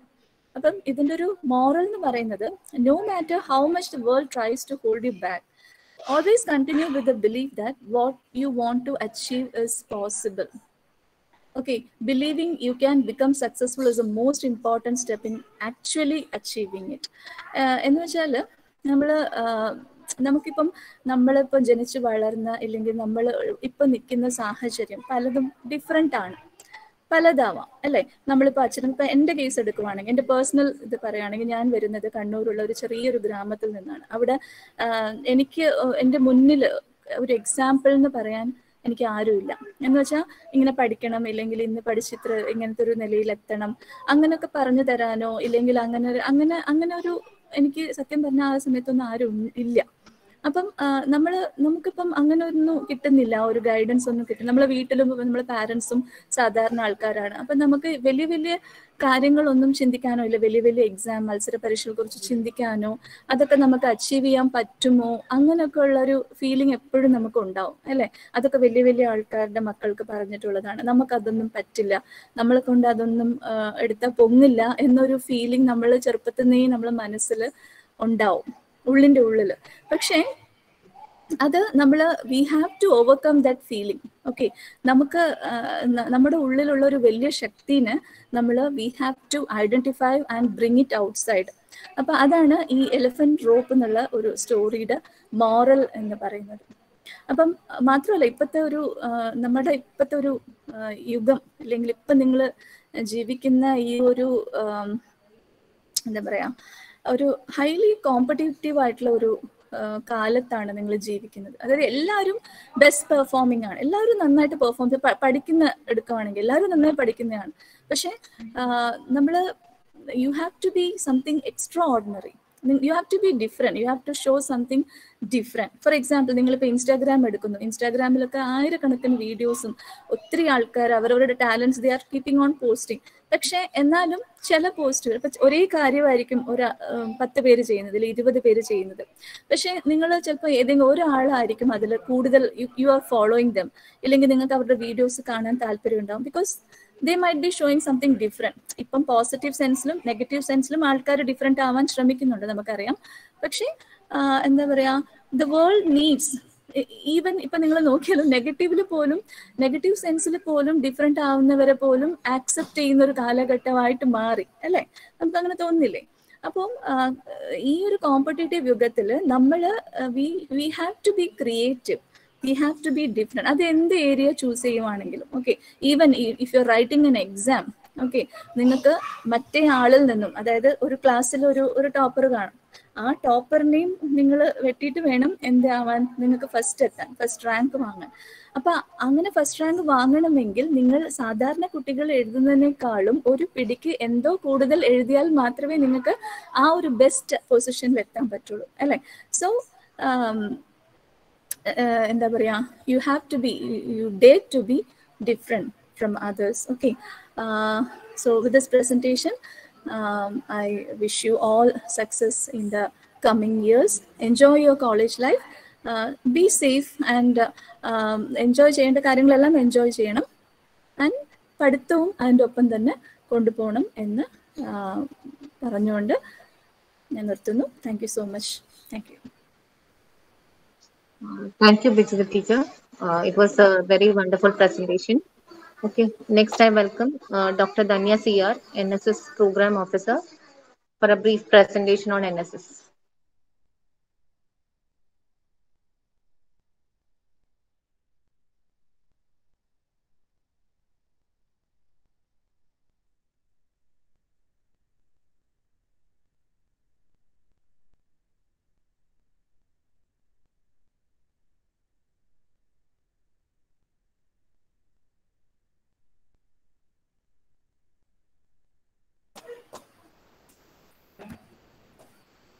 Good afternoon കേൾക്കാം കേൾക്കാം. കേൾക്കാം പ്രസന്റേഷൻ കാണാമോ? കാണാം മാം. പ്രസന്റേഷൻ കാണാലോ അല്ലേ? കാണാം. കാണാം മാം.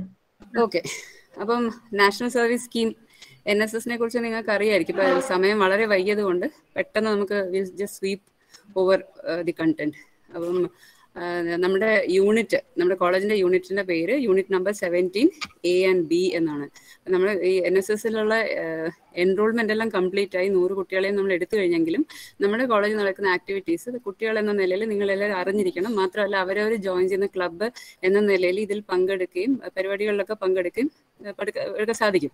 അപ്പൊ അതൊന്ന് അറിയിക്കാൻ വേണ്ടിയിട്ടാണ് നമുക്ക് ഓവറോൾ ഒന്ന് പറഞ്ഞു പോകാം അപ്പൊ നമുക്ക് രണ്ട് യൂണിറ്റ് ഉണ്ട്. സെവന്റീൻ എ സെവന്റീൻ ബി ഓരോ യൂണിറ്റിലും അമ്പത് വോളണ്ടിയേഴ്സ് വീതമാണ്. പിന്നെ ഓരോ യൂണിറ്റിനും ഓരോ പ്രോഗ്രാം ഓഫീസർ ഇങ്ങനെയൊക്കെ നിയമവശങ്ങളാണെങ്കിലും നമ്മൾ ഒരൊറ്റ യൂണിറ്റ് പോലെയാണ് പ്രവർത്തിക്കുന്നതും. രണ്ട് പി ഒമാരും ഇതിനെല്ലാത്തിനും ഉത്തരവാദിത്തം ഏറ്റെടുക്കാറുമുണ്ട്. അപ്പൊ നിങ്ങൾക്ക് അറിയായിരിക്കും ഇപ്പോഴത്തെ നിലവിലെ പി ഒ ഒന്ന് ഞാൻ എന്റെ പേര് ധന്യ പിന്നെ ഉള്ളത് നിഷാദ് സാറ് ജോഗ്രഫി ഡിപ്പാർട്ട്മെന്റ് ഇതിനു മുമ്പ് doctor Rahul zoology department Rahul സാറായിരുന്നു പിന്നെ സുനിത ടീച്ചറായിരുന്നു ലേഡി ആയിട്ടുള്ള പി ഒ അപ്പം മുമ്പ് നമുക്ക് ട്വന്റി രണ്ടായിരത്തി ഇരുപത് രണ്ടായിരത്തി ഇരുപത്തിരണ്ട് കാലയളവിലെ ഗ്രൂപ്പിന്റെ കാര്യമാണ് ഇപ്പൊ പറയുന്നത് ഇപ്പൊ അതായത് സെക്കൻഡ് ഇയർ കുട്ടികൾ നിങ്ങളുടെ സീനിയേഴ്സ് അതിൽ മൊത്തം നമുക്ക് നാല് ഗ്രൂപ്പുകളായിരുന്നു. അത് ഒളിമ്പിക്സ് മെഡൽ ജേതാക്കളുടെ പേരിൽ നമ്മൾ നാല് ഗ്രൂപ്പായിട്ടാണ് അവരെ തിരിച്ചതും. അതിന്റെ മെമ്പേഴ്സ് ആണ് ഇവിടെ കാണുന്നത്. അപ്പോൾ ജൻ സാധാരണ നമ്മൾ എൻ എസ് എസുമായിട്ട് ബന്ധപ്പെട്ട പ്രോഗ്രാംസ് എന്ന് പറയുന്നത് നമ്മൾ അവയർ അവയർനെസ് ക്ലാസ്സസ് കണ്ടക്ട് ചെയ്യാറുണ്ട്. പിന്നെ ഇമ്പോർട്ടന്റ് ആയിട്ടുള്ള ഡേയ്സ് ഒബ്സർവ് ചെയ്യാറുണ്ട്. കോമ്പറ്റീഷൻസ് പലതരത്തിലുള്ള കോമ്പറ്റീഷൻസ് ഇൻക്ലൂഡിങ് ക്വിസ് കോമ്പറ്റീഷൻ നടത്താറുണ്ട്. വെബിനാറുകൾ നടത്താറുണ്ട്. പിന്നെ ക്യാമ്പസും ക്യാമ്പസിന്റെ ചുറ്റിനുള്ളതും പിന്നെ പങ്കാളിത്ത ഗ്രാമം എന്ന് നമ്മൾ ഉദ്ദേശിക്കുന്ന കാര്യവട്ടത്തിന്റെ അറൗണ്ട് അവിടെയുള്ള സ്ഥലങ്ങൾ ക്ലീൻ ചെയ്യാറുണ്ട് പബ്ലിക് പ്ലേസസ് പിന്നെ ഗാർഡനിങ് അഗ്രികൾച്ചർ പൂർണമായിട്ട് നമ്മൾ start ചെയ്തിട്ടില്ലെങ്കിലും we have initiated the thing പിന്നെ ഫിസിക്കൽ ഫിറ്റ്നസിന് ഊന്നൽ കൊടുക്കുന്ന പ്രോഗ്രാംസ് ഉണ്ട്. പിന്നെ വളരെ പ്രധാനമായിട്ട് നമ്മൾ ഫോക്കസ് ചെയ്തേക്കുന്നത് പാലിയേറ്റീവ് കെയർ ആക്ടിവിറ്റീസിലേക്കാണ് അപ്പൊ ഇത് നടന്ന ആക്ടിവിറ്റീസ് ആണ്. ഞാൻ ഒന്ന് സ്ക്രോൾ ചെയ്ത് സ്ക്രോൾ ചെയ്ത് അങ്ങ് പോവാണ്. സമയം ഇല്ലാത്തതുകൊണ്ട് നമ്മൾ ജൂലൈയിൽ ഒരു ആന്റി ഡ്രഗ് ക്യാമ്പയിൻ നടത്തിയിട്ടുണ്ട്. ഇവിടെ ഇരിക്കുന്ന കുട്ടികൾ അത് പങ്കെടുത്ത് കാണത്തില്ല. നിങ്ങളുടെ സീനിയേഴ്സിന് ആയിരുന്നു ആ സമയത്ത് അറ്റൻഡ് ചെയ്തിരുന്നത്. വിമുക്തി നടത്തിയ ഒരു ആന്റി ഡ്രഗ് ക്യാമ്പയിൻ ആണ്.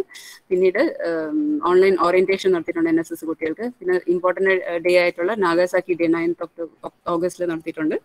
പിന്നെ ഈ ഇൻഡിപെൻഡൻസ് ഡേ ആയിട്ട് ബന്ധപ്പെട്ട് നമ്മൾ നാല് ദിവസത്തെ പരിപാടിയായിട്ടാണ് നട- നടത്തിയേക്കുന്നത്. സെവന്റി ഫിഫ്ത്ത് ഇയർ ആയതുകൊണ്ട് seventy fifth year of independence ആയതുകൊണ്ട് നാല് ദിവസത്തെ ഒരു പ്രോഗ്രാമായിട്ടാണ് കണ്ടക്ട് ചെയ്തത്. ഡേ വണ്ണിന് കുട്ടികൾ ഇവിടെ വന്ന് ഫ്ലാഗ് ഹോയിസ്റ്റിംഗിൽ പങ്കെടുക്കുകയും പിന്നീട് ഒരു ഇൻഡിപെൻഡൻസ് ഡേ മെസ്സേജ് ഒരു കേണൽ പ്രദീപ് കുമാർ നടത്തി.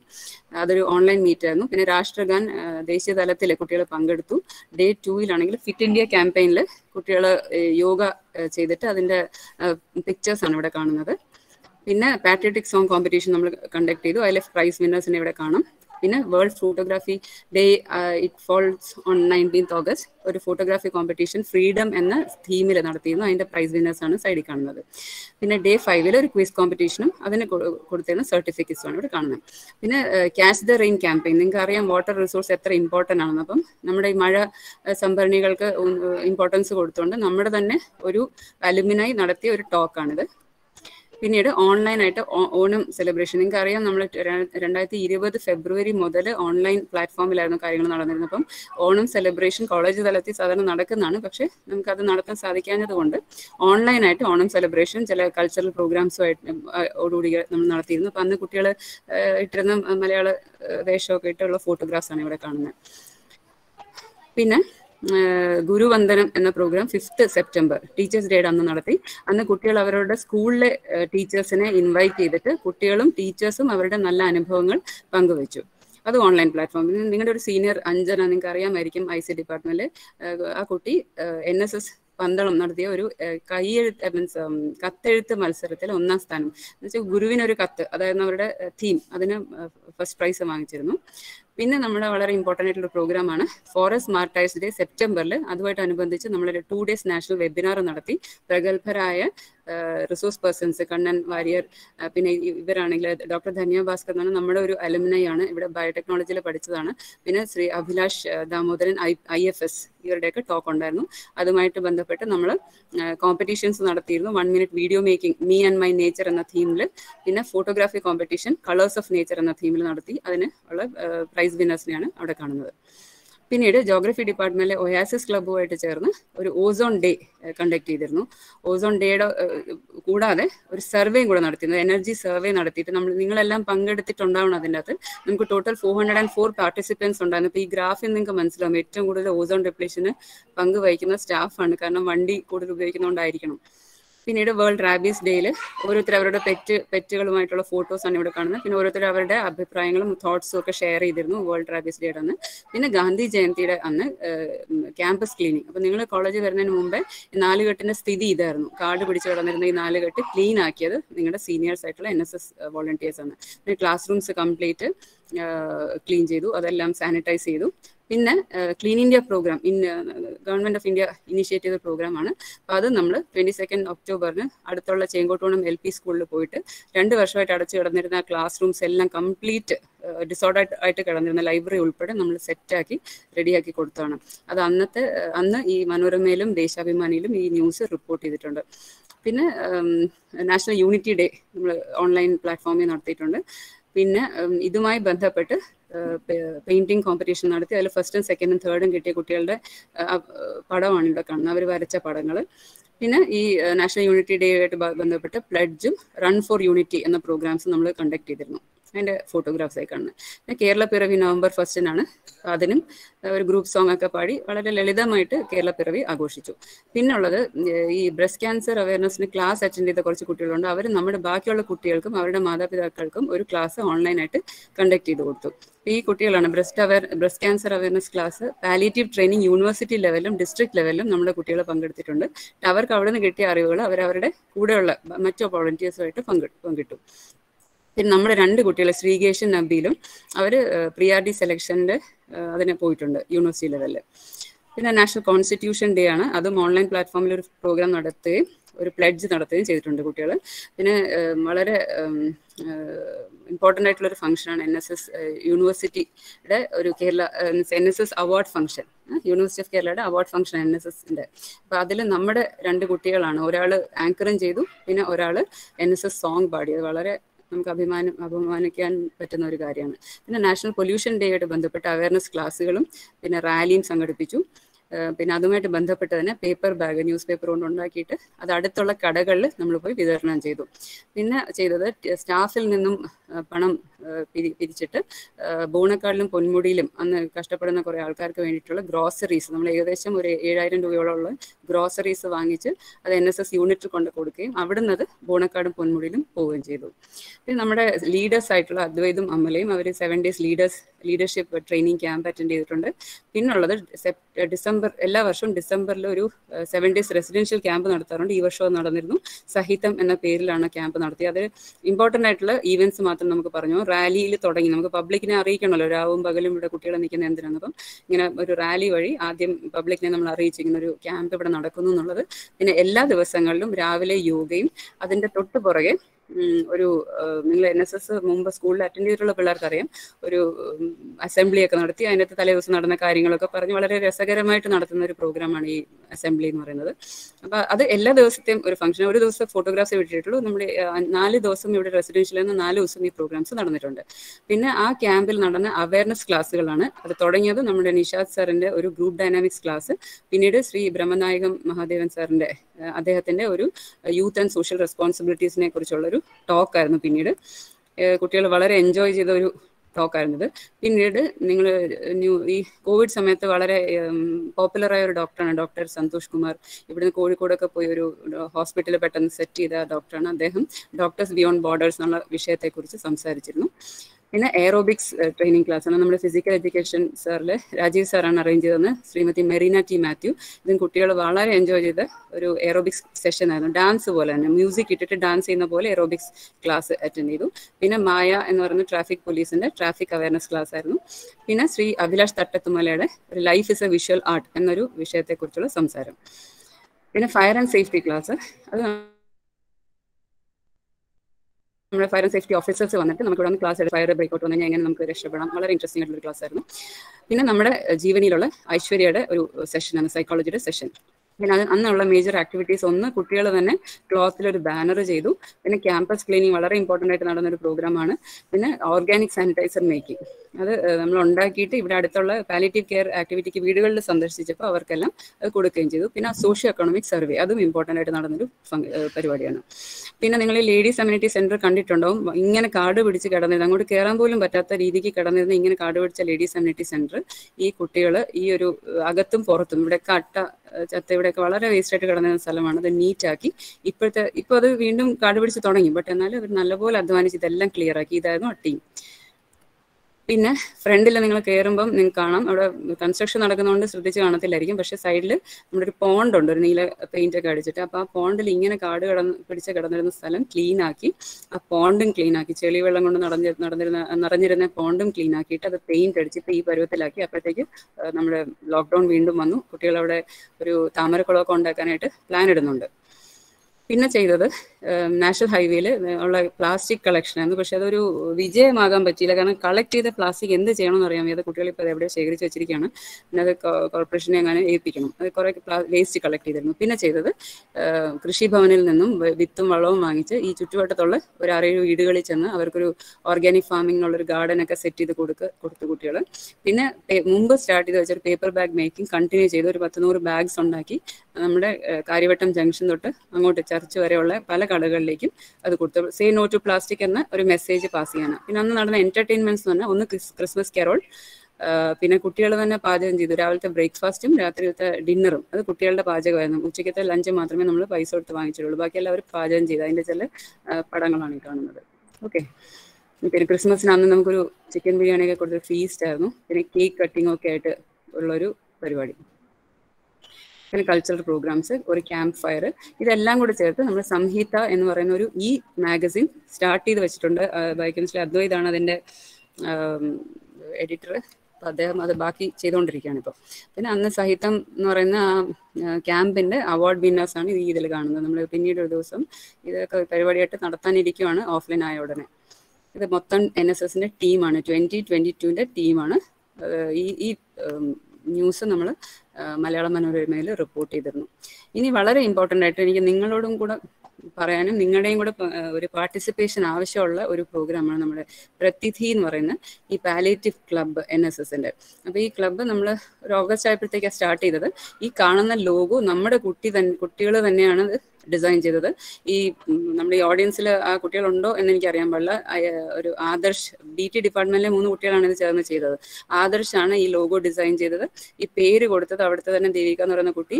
പിന്നെ അജിൽ പ്രതാപ് ആണ് ഈ ഒരു മോട്ടോ കൊടുത്തത്. കൂട്ടായി സോറി വൺ മിനിറ്റ് ആ.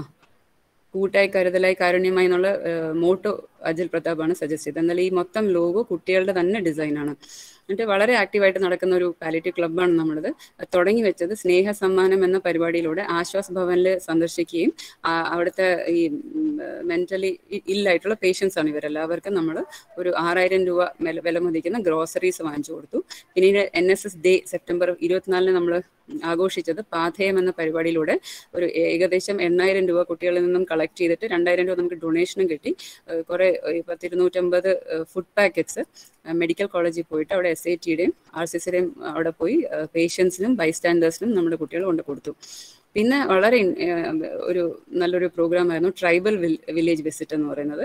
അത് കോട്ടൂരുള്ള വ്ലാവിള സെറ്റിൽമെന്റ് ട്രൈബൽ സെറ്റിൽമെന്റിലുള്ള ഒരു വിസിറ്റ് ആയിരുന്നു. അവിടെ ഒരു പത്തോളം കുടുംബങ്ങളെ നമ്മൾ ഐഡന്റിഫൈ ചെയ്തു. അവിടുത്തെ എസ് ടി പ്രൊമോട്ടറുമായിട്ട് സംസാരിച്ചിട്ട് ഇവരെല്ലാം ഓരോ അസുഖങ്ങളുള്ള ബെഡ് റിട്ടേൺ ആയിട്ട് പേഷ്യൻസാണ് അവർക്ക് വേണ്ടിയിട്ടുള്ള ഫുഡ് പാക്കറ്റ്സും ഗ്രോസറി ഐറ്റംസും പിന്നെ മെഡിസിൻ കിറ്റും ഒക്കെ നമ്മൾ കൊണ്ട് കൊടുത്തു. പിന്നെ നമ്മുടെ തന്നെ ഒരു വോളണ്ടിയറായ അഞ്ജന അവർക്ക് breast awareness class breast cancer awareness class സംഘടിപ്പിച്ചു കൊടുത്തു ഇത് അവിടുത്തെ വിഷ്വൽസ് ആണ് ചില പ്രോഗ്രാംസ് അപ്പോൾ ഈ ജീപ്പിലൊക്കെയാണ് നമ്മൾ വെള്ളം ഇങ്ങനത്തെ വെള്ളമൊക്കെ താണ്ടി പോയത് അവിടെ വരെ.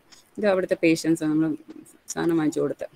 ഓക്കെ ഇത് അവിടുത്തെ പിന്നെ ചെയ്തതെന്ന് വെച്ചാൽ അവിടുത്തെ കുട്ടികൾ ഈ പേഷ്യൻസിന്റെ നമ്മൾ ഇവിടെ നമ്മൾ ഈ എല്ലാ സുഖ സൗകര്യങ്ങളോടുകൂടി ജീവിക്കുമ്പോൾ നമുക്ക് അവിടുത്തെ ആൾക്കാരുടെ ജീവിതം ചെന്ന് കണ്ടാലേ മനസ്സിലാവുള്ളൂ. വളരെ പരിമിതമായ വളരെ ലിമിറ്റഡ് റിസോഴ്സസേ ഉള്ളവർക്ക്. അവിടുത്തെ കുട്ടികൾക്ക് പഠനം തന്നെ നിന്ന് പോയിരിക്കുന്ന ഒരു അവസ്ഥയാണ്. അപ്പം ഈ കുട്ടികൾക്ക് ഇരുപതോളം കുട്ടികൾക്കുള്ള പഠന സാമഗ്രികളും നമ്മൾ വാങ്ങിച്ചു കൊടുത്തു. പിന്നെ അവരുമായിട്ട് ചിൽഡ്രൻസ് ഡേ ആഘോഷിക്കാൻ ഒരു കേക്ക് ഒക്കെ കട്ട് ചെയ്ത. കുട്ടികൾ എനിക്ക് തോന്നുന്നു ആദ്യമായിട്ടാണ് ഈ കേക്ക് ഒക്കെ കഴിക്കുന്നത്. വളരെ വളരെ നല്ലൊരു അനുഭവമായിരുന്നത് ഇത് മൊത്തം ടീം അന്ന് പോയ ടീമാണിത്. പിന്നെ കോട്ടൂര് തന്നെയുള്ള ഒരു അഗസ്ത്യർകൂടം ബാലിക സദനം. അത് കുറച്ചുകൂടെ ബെറ്റർ ആണ്. ഇവിടുത്തെ കുട്ടികൾ വലിയ പ്രശ്നങ്ങളും ഇല്ലാതെ ഉള്ള ഇവിടെയും ഷെഡ്യൂൾ ട്രൈബിലെ പെട്ട വിഭാഗത്തിൽപ്പെട്ട കുട്ടികളാണ്. പക്ഷെ അവർ വലിയ ബുദ്ധിമുട്ടൊന്നും അനുഭവിക്കാത്ത കുട്ടികൾ പക്ഷെ ഇങ്ങനെ ഓരോ ഡൊണേഷൻസ് ഒക്കെ വഴിയാണ് അവരുടെ കാര്യങ്ങൾ നടക്കുന്നത്. ബട്ട് കമ്പാരിറ്റീവ്ലി ബ്ലാവിള സെറ്റിൽമെന്റിനെ കാട്ടി ബെറ്റർ ആയ കുട്ടികളെ ഇവർ. ഇനി അടുത്ത നിങ്ങളുടെ ബാച്ച് രണ്ടായിരത്തി ഇരുപത്തി ഒന്ന് ഇരുപത്തി മൂന്നിലെ ബാച്ചാണ് വീണ്ടും നമ്മൾ ഇന്ത്യയിലെ മിസൈൽസിന്റെ പേരിലാണ് മൂന്ന് ടീമാക്കിയത്. Team Astra Brahmos Prahad and Prithvi. നാല് ടീമാണ്. പിന്നെ അത് തുടങ്ങി തുടക്കം കുറിച്ചത് ആക്ടിവിറ്റീസ് തുടക്കം കുറിച്ച് കുറിച്ചത് പാലിറ്റീവ് സർവേ വഴിയാണ്. അപ്പം അത് ലെവൻത്തും ട്വൽത്തും ജാനുവരിയിൽ നമ്മൾ അമ്പത് വീടുകൾ കുട്ടികൾ സന്ദർശിക്കുകയും ഒരു ക്വസ്റ്റ്യൻ പ്രിപ്പയർ ചെയ്തിട്ടുള്ള കുറേ ഇൻഫർമേഷൻസ് കളക്ട് ചെയ്ത് ഗൂഗിൾ ഫോമിൽ ആ ക്വസ്റ്റ്യനേഴ്സിന് ആൻസർ കൊടുക്കുകയും അതെല്ലാം സെറ്റ് ചെയ്ത് ഇപ്പോൾ റിപ്പോർട്ട് ആയിട്ടുണ്ട്. ഈ അത് ആണ് കാണുന്നത്. അമ്പത് വീടുകൾ സന്ദർശിച്ചു. എന്നിട്ട് നമ്മൾ പാങ്ങപ്പാറയിലുള്ള ഹെൽത്ത് സെന്ററുമായിട്ട് കണ്ടക്ട് അവിടെയും അവർക്കൊരു പാലിറ്റീവ് സെന്റർ ഉണ്ട്. അവരുമായിട്ട് കോൺടാക്ട് ചെയ്തിട്ട് അവിടെ ഒരു സിസ്റ്റർ ഉണ്ട് സിസ്റ്റർ രാധാമണി. അവരിൽ നിന്നും ഈ സർവേയിൽ നിന്നുമൊക്കെ നമ്മൾ കുറച്ച് ആൾക്കാരുടെ പേര് കിട്ടി.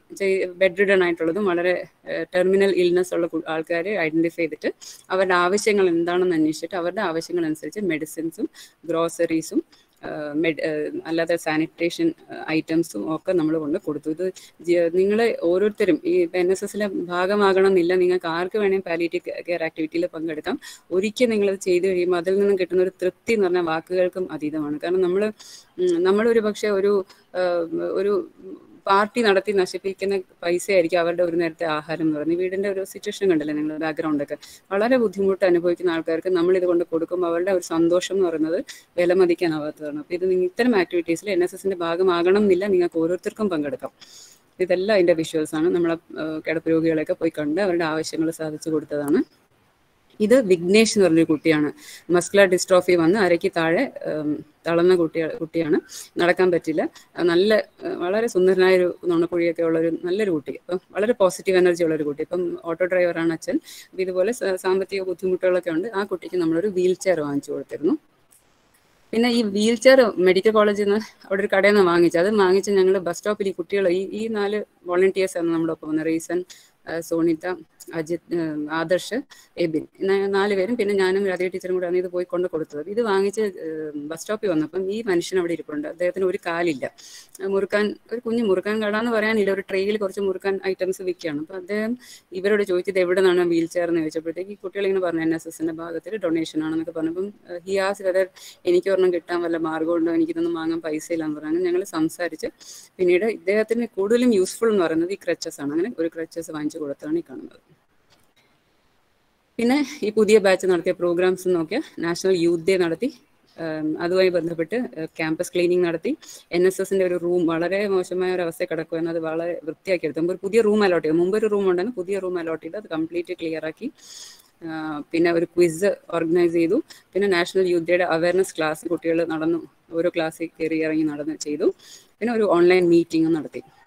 പിന്നെ poster making competition Indian army day ആയിട്ട് ബന്ധപ്പെട്ട് നാല് ഗ്രൂപ്പും ഓരോ പോസ്റ്റേഴ്സ് ഉണ്ടാക്കി ഈ പോസ്റ്റേഴ്സാണ് കാണുന്നത്. ഇത്രയും. പിന്നെ ഉള്ളത് എന്താ പരാക്രം ദിവസ്. അത് അതുമായിട്ട് ബന്ധപ്പെട്ട് സുഭാഷ് ചന്ദ്രബോസിന്റെ പട ഇത് സ്കെച്ച് കോമ്പറ്റീഷൻ ഈ പടങ്ങളാണ് കുട്ടികൾ വരച്ച പടങ്ങളാണ് കാണുന്നത്. എൻ എസ് എസിൽ കുട്ടികൾ വരച്ച പടങ്ങളാണ് ഈ കാണുന്നത്. ഇതിന്റെ പ്രൈസ് ഇതുവരെ അനൗൺസ് ചെയ്തിട്ടില്ല. അതേപോലെ അന്ന് തന്നെ ദേശീയ കൈയക്ഷര ദിനമായിരുന്നു. നമ്മളിപ്പം ഈ ഫോണും കമ്പ്യൂട്ടറും യൂസ് ചെയ്ത് തുടങ്ങിയ പിന്നെ കൈ കൊണ്ട് എഴുതുന്ന പരിപാടി നമ്മൾ നിർത്തി. അപ്പൊ കൈയക്ഷര ദിനം നിർബന്ധമായിട്ടും ആഘോഷിക്കണം എന്ന് നമ്മൾ കരുതി ഒരു ഹാൻഡ് റൈറ്റിംഗ് കോമ്പറ്റീഷൻ നമ്മുടെ ഓർമ്മകളിൽ നിന്ന് പോലും മറിഞ്ഞു പോയ ഒരു വിഷയമാണ് ഹാൻഡ് റൈറ്റിംഗ് കോമ്പറ്റീഷൻ അത് നടത്തി. ഇതിന്റെയും റിസൾട്ട് അനൗൺസ് ചെയ്തിട്ടില്ല. പിന്നെ നടന്നത് നമ്മുടെ റിപ്പബ്ലിക് ഡേ ആയിട്ട് അനുബന്ധിച്ച് നാല് ദിവസത്തെ പ്രോഗ്രാം ആയിരുന്നു. ഫസ്റ്റ് ഡേ ഫ്ലാഗ് ഹോസ്റ്റിംഗിനൊന്നും പങ്കെടുക്കാൻ പറ്റിയില്ല കോവിഡ് പ്രോട്ടോകോൾ കാരണം ഒരു കേണൽ ജീവൻ എന്ന് പറയുന്ന ഒരു ആർമി ഉദ്യോഗസ്ഥന്റെ ശൗര്യ ചക്രയൊക്കെ കിട്ടിയ ആളാണ്. അദ്ദേഹത്തിന്റെ ഒരു മെസ്സേജ് പിന്നെ ഒരു ഓൺലൈൻ ലൈവ് ക്വിസ് ആയിരുന്നു. ലൈവ് ക്വിസിന് നമ്മുടെ ബി ടിയിലെ അമീൻ എന്ന് പറയുന്ന കുട്ടി ലൈവ് ആയിട്ട് ഒരു ക്വിസ് കണ്ടക്ട് ചെയ്തു തേർഡ് ഡേ ഹരിതം എന്ന പ്രോഗ്രാമിൽ വീടുകളിലെ പ്ലാസ്റ്റിക്സ് എല്ലാം ശേഖരിച്ച് അത് വേണ്ട രീതിക്ക് അത് ഡിസ്പോസ് ചെയ്തു. ഇതെല്ലാം ഓരോ ഗ്രൂപ്പുകാരുടെ ഫോട്ടോഗ്രാഫ്സ് ആണ്. ഓരോ ഗ്രൂപ്പ് കളക്ട് ചെയ്ത പ്ലാസ്റ്റിക്കും പിന്നെ ഫോർത്ത് ഡേ ജീവാംശം എന്ന ഒരു പ്രോഗ്രാമിൽ ഓരോ കുട്ടിയും അവരുടെ വീട്ടിൽ ഒരു ചെടി നട്ടിട്ടുണ്ട്. ഇനി ഇത് ആറ് മാസം കഴിയുമ്പോൾ ഫോളോ അപ്പ് പറഞ്ഞിട്ടുണ്ട്. ഓരോ കുട്ടിയും ഒരു ചെടി വീട്ടിൽ നട്ട് ഫോട്ടോഗ്രാഫ് എടുത്ത് അയച്ചു തരണം എന്ന് പറഞ്ഞാണ്. അപ്പോൾ അത് ഓരോ ഗ്രൂപ്പിന്റെ പിക്ചേഴ്സ് ആണ് ഈ കാണുന്നത്. ലാസ്റ്റ് നമ്മൾ കണ്ടക്ട് ചെയ്തത് ഒരു വെബിനാറാണ് വേൾഡ് വെറ്റ്ലാൻഡ് ഡേ ജോഗ്രഫിയിലെ കുട്ടികളെല്ലാം പങ്കെടുത്തിട്ടുണ്ട്. നിങ്ങൾക്ക് അറിയാം അപ്പോൾ വെബിനാർ നടത്തി. അതുമായിട്ട് ബന്ധപ്പെട്ട ഒരു പ്രസന്റേഷൻ പേപ്പർ പ്രസന്റേഷൻ കോമ്പറ്റീഷനൊക്കെ ആണ് ഇതാണ് ലാസ്റ്റ് നമ്മൾ നടത്തിയ ഒരു പ്രോഗ്രാം മൊത്തം എൻ എസ് എസിൽ per year one twenty hours work ചെയ്യണം എന്നാണ് ടോട്ടൽ ടു ഫോർട്ടി അവർ ഒരു വോളണ്ടിയർ വർക്ക് ചെയ്യണം. ഇത് വർക്ക് ചെയ്യുമ്പോഴത്തേക്ക് ഇവർക്ക് ഒരുപാട് സമയം. ഇപ്പോൾ നിങ്ങൾ ഈ ലിസ്റ്റ് ഓഫ് പ്രോഗ്രാംസ് കാണുമ്പോൾ നിങ്ങൾക്ക് അറിയാം എത്രത്തോളം സമയം കുട്ടികൾ ഇതിനു വേണ്ടി ചിലവാക്കിയിട്ടുണ്ടെന്ന്. അപ്പോൾ രണ്ട് പേഴ്സൺ ഗ്രേസ് മാർക്ക് ഇതിനൊരു പരിഹാരമായിട്ട് യൂണിവേഴ്സിറ്റി തരുന്നതാണ്. ഓക്കെ പിന്നെ എനിക്ക് നിങ്ങൾക്ക് പറയാനുള്ളത് ഒരു നാടിന്റെ ഒരു റിച്ച്നെസ് എന്ന് പറയുന്നത് ഒന്ന് അതിന്റെ natural റിസോഴ്സസിലാണ് something link to natural resources and how you maintain the natural resources development വേണം പക്ഷേ സസ്റ്റൈനബിൾ ഡെവലപ്മെന്റ് നാച്ചുറൽ റിസോഴ്സ് അതുപോലെ നിർത്തിക്കൊണ്ട് വേണം ഡെവലപ്പ് ചെയ്യാൻ. പിന്നെ എന്ന് ഒരു ഹെൽത്തി ഹാപ്പി സൊസൈറ്റിയാണ് ഒരു നാടിന്റെ ഏറ്റവും വലിയ അസറ്റ് എന്ന് പറയുന്നത് ഹെൽത്തി എന്ന് പറയുമ്പം ഫിസിക്കലി ഹെൽത്തി ആയിരിക്കണം മെന്റലി ഹെൽത്തി ആയിരിക്കണം ഇമോഷണലി സൈക്കോളജിക്കലി എല്ലാം ഹെൽത്തി ആയിട്ടുള്ള ഒരു സൊസൈറ്റി ആയിരിക്കണം. അങ്ങനെ ഒരു നാട് മാത്രമേ നല്ല റിച്ച് ആയിട്ടുള്ള നാടെന്ന് നമുക്ക് പറയാൻ പറ്റുള്ളൂ. അപ്പം നമ്മുടെ ചുറ്റിനും നോക്കിക്കഴിഞ്ഞാൽ there are N number of social issues N number of എൻവയോൺമെന്റൽ issues psychological issues നിങ്ങൾക്ക് അറിയാം ഓരോ ദിവസം നടക്കുന്ന ന്യൂസ് കേട്ട് കഴിഞ്ഞാൽ നമ്മൾ ഓരോ ദിവസങ്ങളും നമ്മൾ ഞെട്ടിക്കുന്ന വാർത്തകളാണ് വരുന്നത്. ഇതൊക്കെ ഒരു പേഴ്സണാലിറ്റി ഡിസ് ഡിസോർഡർ ആണ് ആക്ച്വലി അപ്പോൾ ഇത്തരം പ്രശ്നങ്ങൾ നിറയെ കിടക്കുമ്പോൾ അവിടെയാണ് നമുക്ക് എൻ എസ് എസിന്റെ ഒരു ഇൻവോൾവ്മെന്റ് വളരെ ഇമ്പോർട്ടന്റ് ആയിട്ട് വരുന്നത്. കാരണം നിങ്ങൾ ഈ കണ്ട ലിസ്റ്റ് ഓഫ് പ്രോഗ്രാംസ് കാണുമ്പോൾ അറിയാം അവിടെ കുട്ടികൾ പഠിക്കുന്ന എന്തൊക്കെയാണ്? ഹാർഡ് വർക്ക് പഠിക്കും ഡെഡിക്കേഷൻ പഠിക്കും കോപ്പറേഷൻ പഠിക്കും ഏത് തരക്കാരുമായിട്ട് കോപ്പറേറ്റ് ചെയ്യാൻ പഠിക്കും പിന്നെ സെൽഫ്ലെസ് ആയിട്ടുള്ള സർവീസ് എന്താ നിസ്വാർത്ഥമായ സേവനം പിന്നെ ടീം വർക്ക് പഠിക്കും. പലതരത്തിലെ പല സ്വഭാവക്കാരായിരിക്കും. ഇപ്പം ക്യാമ്പിൽ തന്നെ നാല് ദിവസം ഒരു മുറിയിൽ വളരെ ലിമിറ്റഡ് ആയിട്ടുള്ള കാര്യങ്ങളേ ഉള്ളൂ. അങ്ങനെ ഒരു സിറ്റുവേഷനിൽ താമസിക്കാൻ പഠിച്ചു. ടോളറൻസ് പഠിക്കും. ഇതെല്ലാം നമുക്ക് എൻ എസ് എസിൽ ജോയിൻ ചെയ്ത് കുട്ടികൾക്ക് കിട്ടും. പിന്നെ അതിന്റെ ഒരു മോട്ടോ എന്ന് പറയുന്നത് നോട്ട് മീ ബട്ട് യു എന്ന് വെച്ചാൽ it means all the volunteer place community before self എനിക്ക് എന്നെക്കാട്ടി ഇമ്പോർട്ടന്റ് കമ്മ്യൂണിറ്റി ഇപ്പം നമ്മൾ എന്തിനു പഠിക്കുന്നു എന്ന് വെച്ചാൽ എനിക്ക് മാർക്ക് കിട്ടാൻ എനിക്ക് ജോലി കിട്ടാൻ എനിക്ക് സുഖമായി ജീവിക്കാൻ എന്നല്ല. നമ്മൾ ഈ സമൂഹത്തിന് വേണ്ടി എന്ത് നമുക്ക് ചെയ്യാൻ പറ്റും. നമ്മൾ എന്ത് ചെയ്താലും സമൂഹം നമ്മളെ മുന്നിൽ ഉണ്ടാവണം സമൂഹത്തിന് വേണ്ടിയായിരിക്കണം ജീവിതം. എന്ന് വെച്ചാൽ അവനവന്റെ ജീവിതം ഹോമിക്കണം എന്നല്ല. ഞാൻ വളരണം എന്റെ ഒപ്പം എന്റെ സമൂഹം വളരണം എന്നുള്ള ചിന്തയോടുകൂടി വേണം നിങ്ങൾ ഓരോരുത്തരും ജീവിക്കാനായിട്ട്. അപ്പം നമ്മുടെ ഒരു ഫൈനൽ ആയിട്ടുള്ള എയിം എന്ന് പറഞ്ഞാൽ സാമൂഹിക സേവനത്തിലൂടെ വ്യക്തിത്വ വികസനം. അതാണ് എൻ എസ് എസിന്റെ ആത്യന്തികമായ ലക്ഷ്യം എന്ന് പറയുന്നത്. എല്ലാവർക്കും മനസ്സ് നന്നാവട്ടെ. അങ്ങനെയാണ് നമ്മൾ എല്ലാ എൻ എസ് എസ് പ്രോഗ്രാംസും സ്റ്റാർട്ട് ചെയ്യുന്നത്. ഞാനിതിപ്പോൾ അവസാനം പറയാണ്. നമ്മളെല്ലാവരുടെയും മനസ്സ് നല്ലതാണ്. നന്മ നമ്മൾ തിരിച്ചറിഞ്ഞാൽ മാത്രം മതി. നന്ദി നമസ്കാരം. താങ്ക് യു നന്ദി teacher next I welcome doctor Rajeev Kumar sir head of physical education department first Education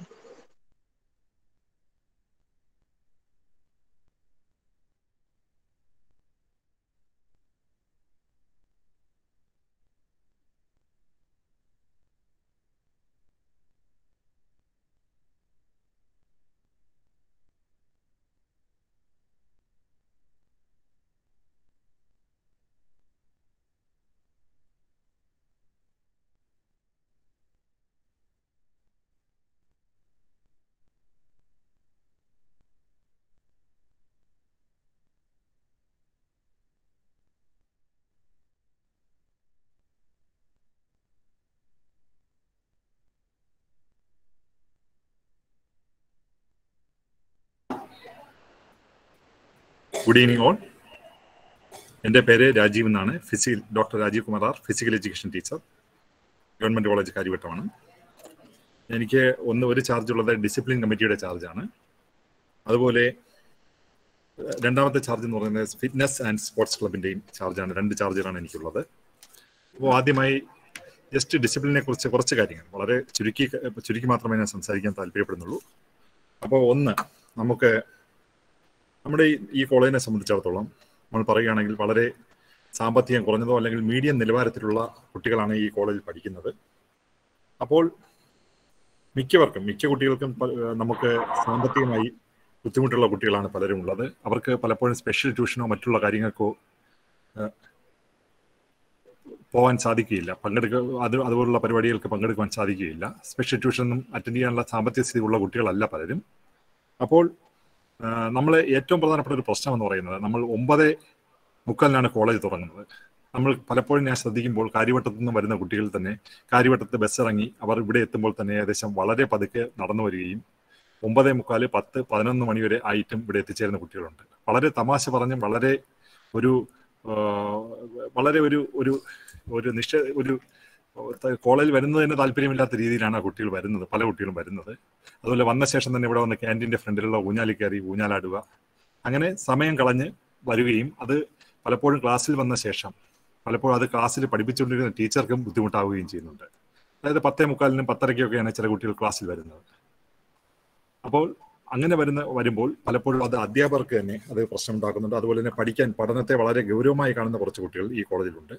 അപ്പോൾ അങ്ങനെയുള്ള കുട്ടികൾക്കും ഇത് വളരെ ബുദ്ധിമുട്ടുണ്ടാകുന്നുണ്ട് അപ്പോൾ അത്തരം കാര്യങ്ങളിൽ നമ്മൾ ഒരു ഒരു ഇതായി. നമ്മൾ കറക്റ്റായി ക്ലാ കോളേജ് അറ്റൻഡ് ചെയ്യുക. കാരണം ടൈം എന്ന് പറയുന്നത് വളരെ ഇമ്പോർട്ടന്റ് ആയിട്ടുള്ള കാര്യമാണ്. ടൈം കീപ്പ് ചെയ്യുക. അതാണ് ഡിസിപ്ലിന്റെ ആദ്യത്തെ ബേസിക് സ്റ്റെപ്പ് എന്ന് പറയുന്നത്. ഒരു കാരണവശാലും നമ്മൾ ടൈം ആ ടൈമിൽ വരികാൻ വരണം. നമുക്ക് ചിലപ്പോൾ അത്യാവശ്യമൊക്കെ കാണും. അങ്ങനെയുള്ള സന്ദർഭങ്ങളിൽ മാത്രം നമുക്ക് നമുക്ക് ചെറിയ ലേറ്റ് ആവാൻ ലേറ്റ് ആവാം. പക്ഷെ അല്ലാത്ത സമയങ്ങളിൽ നിങ്ങൾ കഴിവിന്റെ പരമാവധി കോളേജിൽ ടൈം തന്നെ എത്തണം എന്നുള്ള ഒരു ഇതാണ്. പിന്നെ നമ്മുടെ വിദ്യാഭ്യാസം എന്നതുകൊണ്ട് ഉദ്ദേശിക്കുന്നത് നമ്മുടെ ഒരു വ്യക്തിയുടെ സമ്പൂർണമായ വികാസമാണ്.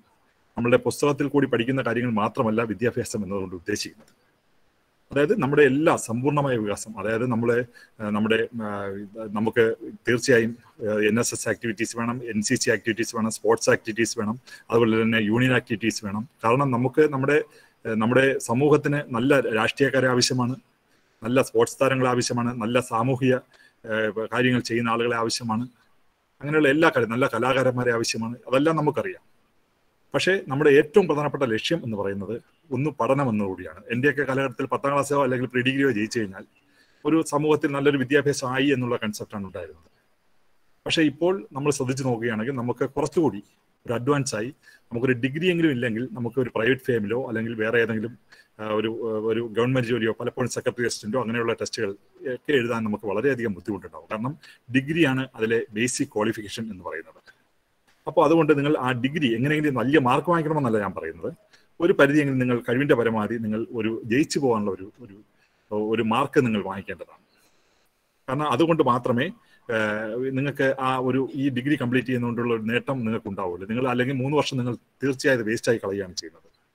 അതുപോലെ നമ്മുടെ കോളേജിന്റെ പ്രോപ്പർട്ടികൾ എന്ന് പറയുന്നത് പലപ്പോഴും നമ്മുടെ ഈ പ്രോപ്പർട്ടി എന്ന് പറയുന്നത് നിങ്ങളുടെയും എന്റെയും ടാക്സ് ടാക്സ് കൊടുത്താണ് ഈ പ്രോപ്പർട്ടികൾ പലതും ഉണ്ടാക്കിയിരിക്കുന്നത്.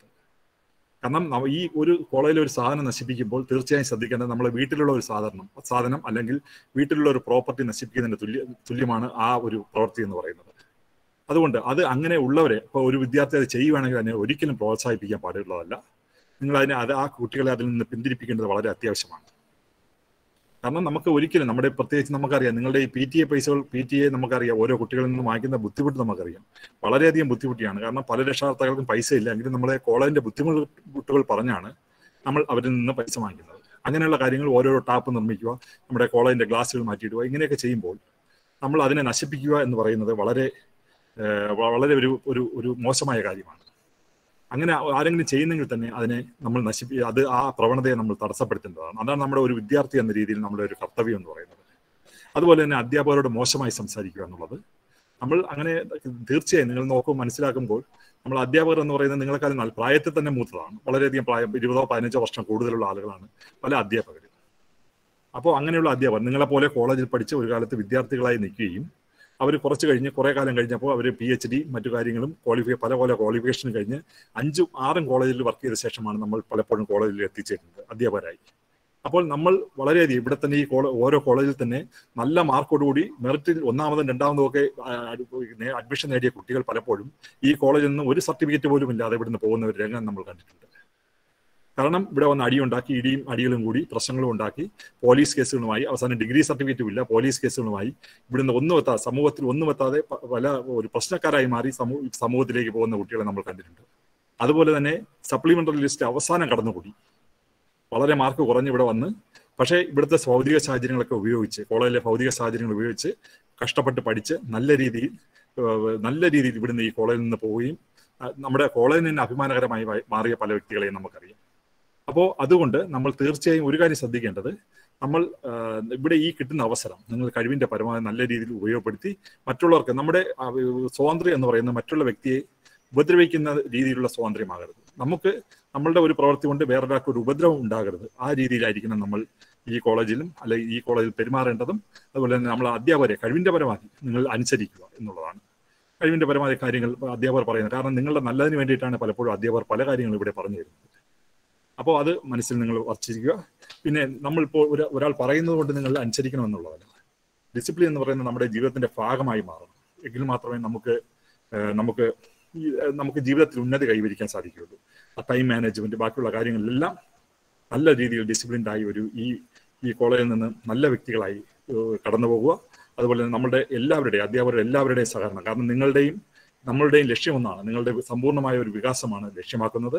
അപ്പോൾ അത് തീർച്ചയായും നിങ്ങൾ അതിൽ ആ ഒരു പ്രക്രിയയിൽ നമ്മൾ പഠന പ്രക്രിയയിൽ നമ്മൾ അധ്യാപകർ കൂടെ ഉണ്ടാകും എന്നുള്ള ഉത്തമ ഉത്തമ ഉത്തമമായ ഒരു വിശ്വാസത്തോടുകൂടി നിങ്ങൾ നല്ല രീതിയിൽ പഠിക്കണമെന്നുള്ള ഒരു ആഗ്രഹത്തോടു കൂടി ഞാൻ നടത്തുകയാണ്. ഡിസിപ്ലിൻ കമ്മിറ്റിയുടെ കാര്യങ്ങൾ നടത്തുകയാണ്. ഇനി അടുത്തതായി ഫിസിക്കൽ ഫിറ്റ്നസ് ക്ലബും അല്ലാതെ ഫിസിക്കൽ ഫിറ്റ്നസ് ക്ലബിനെ പറ്റിയാണ് പറയുന്നത്.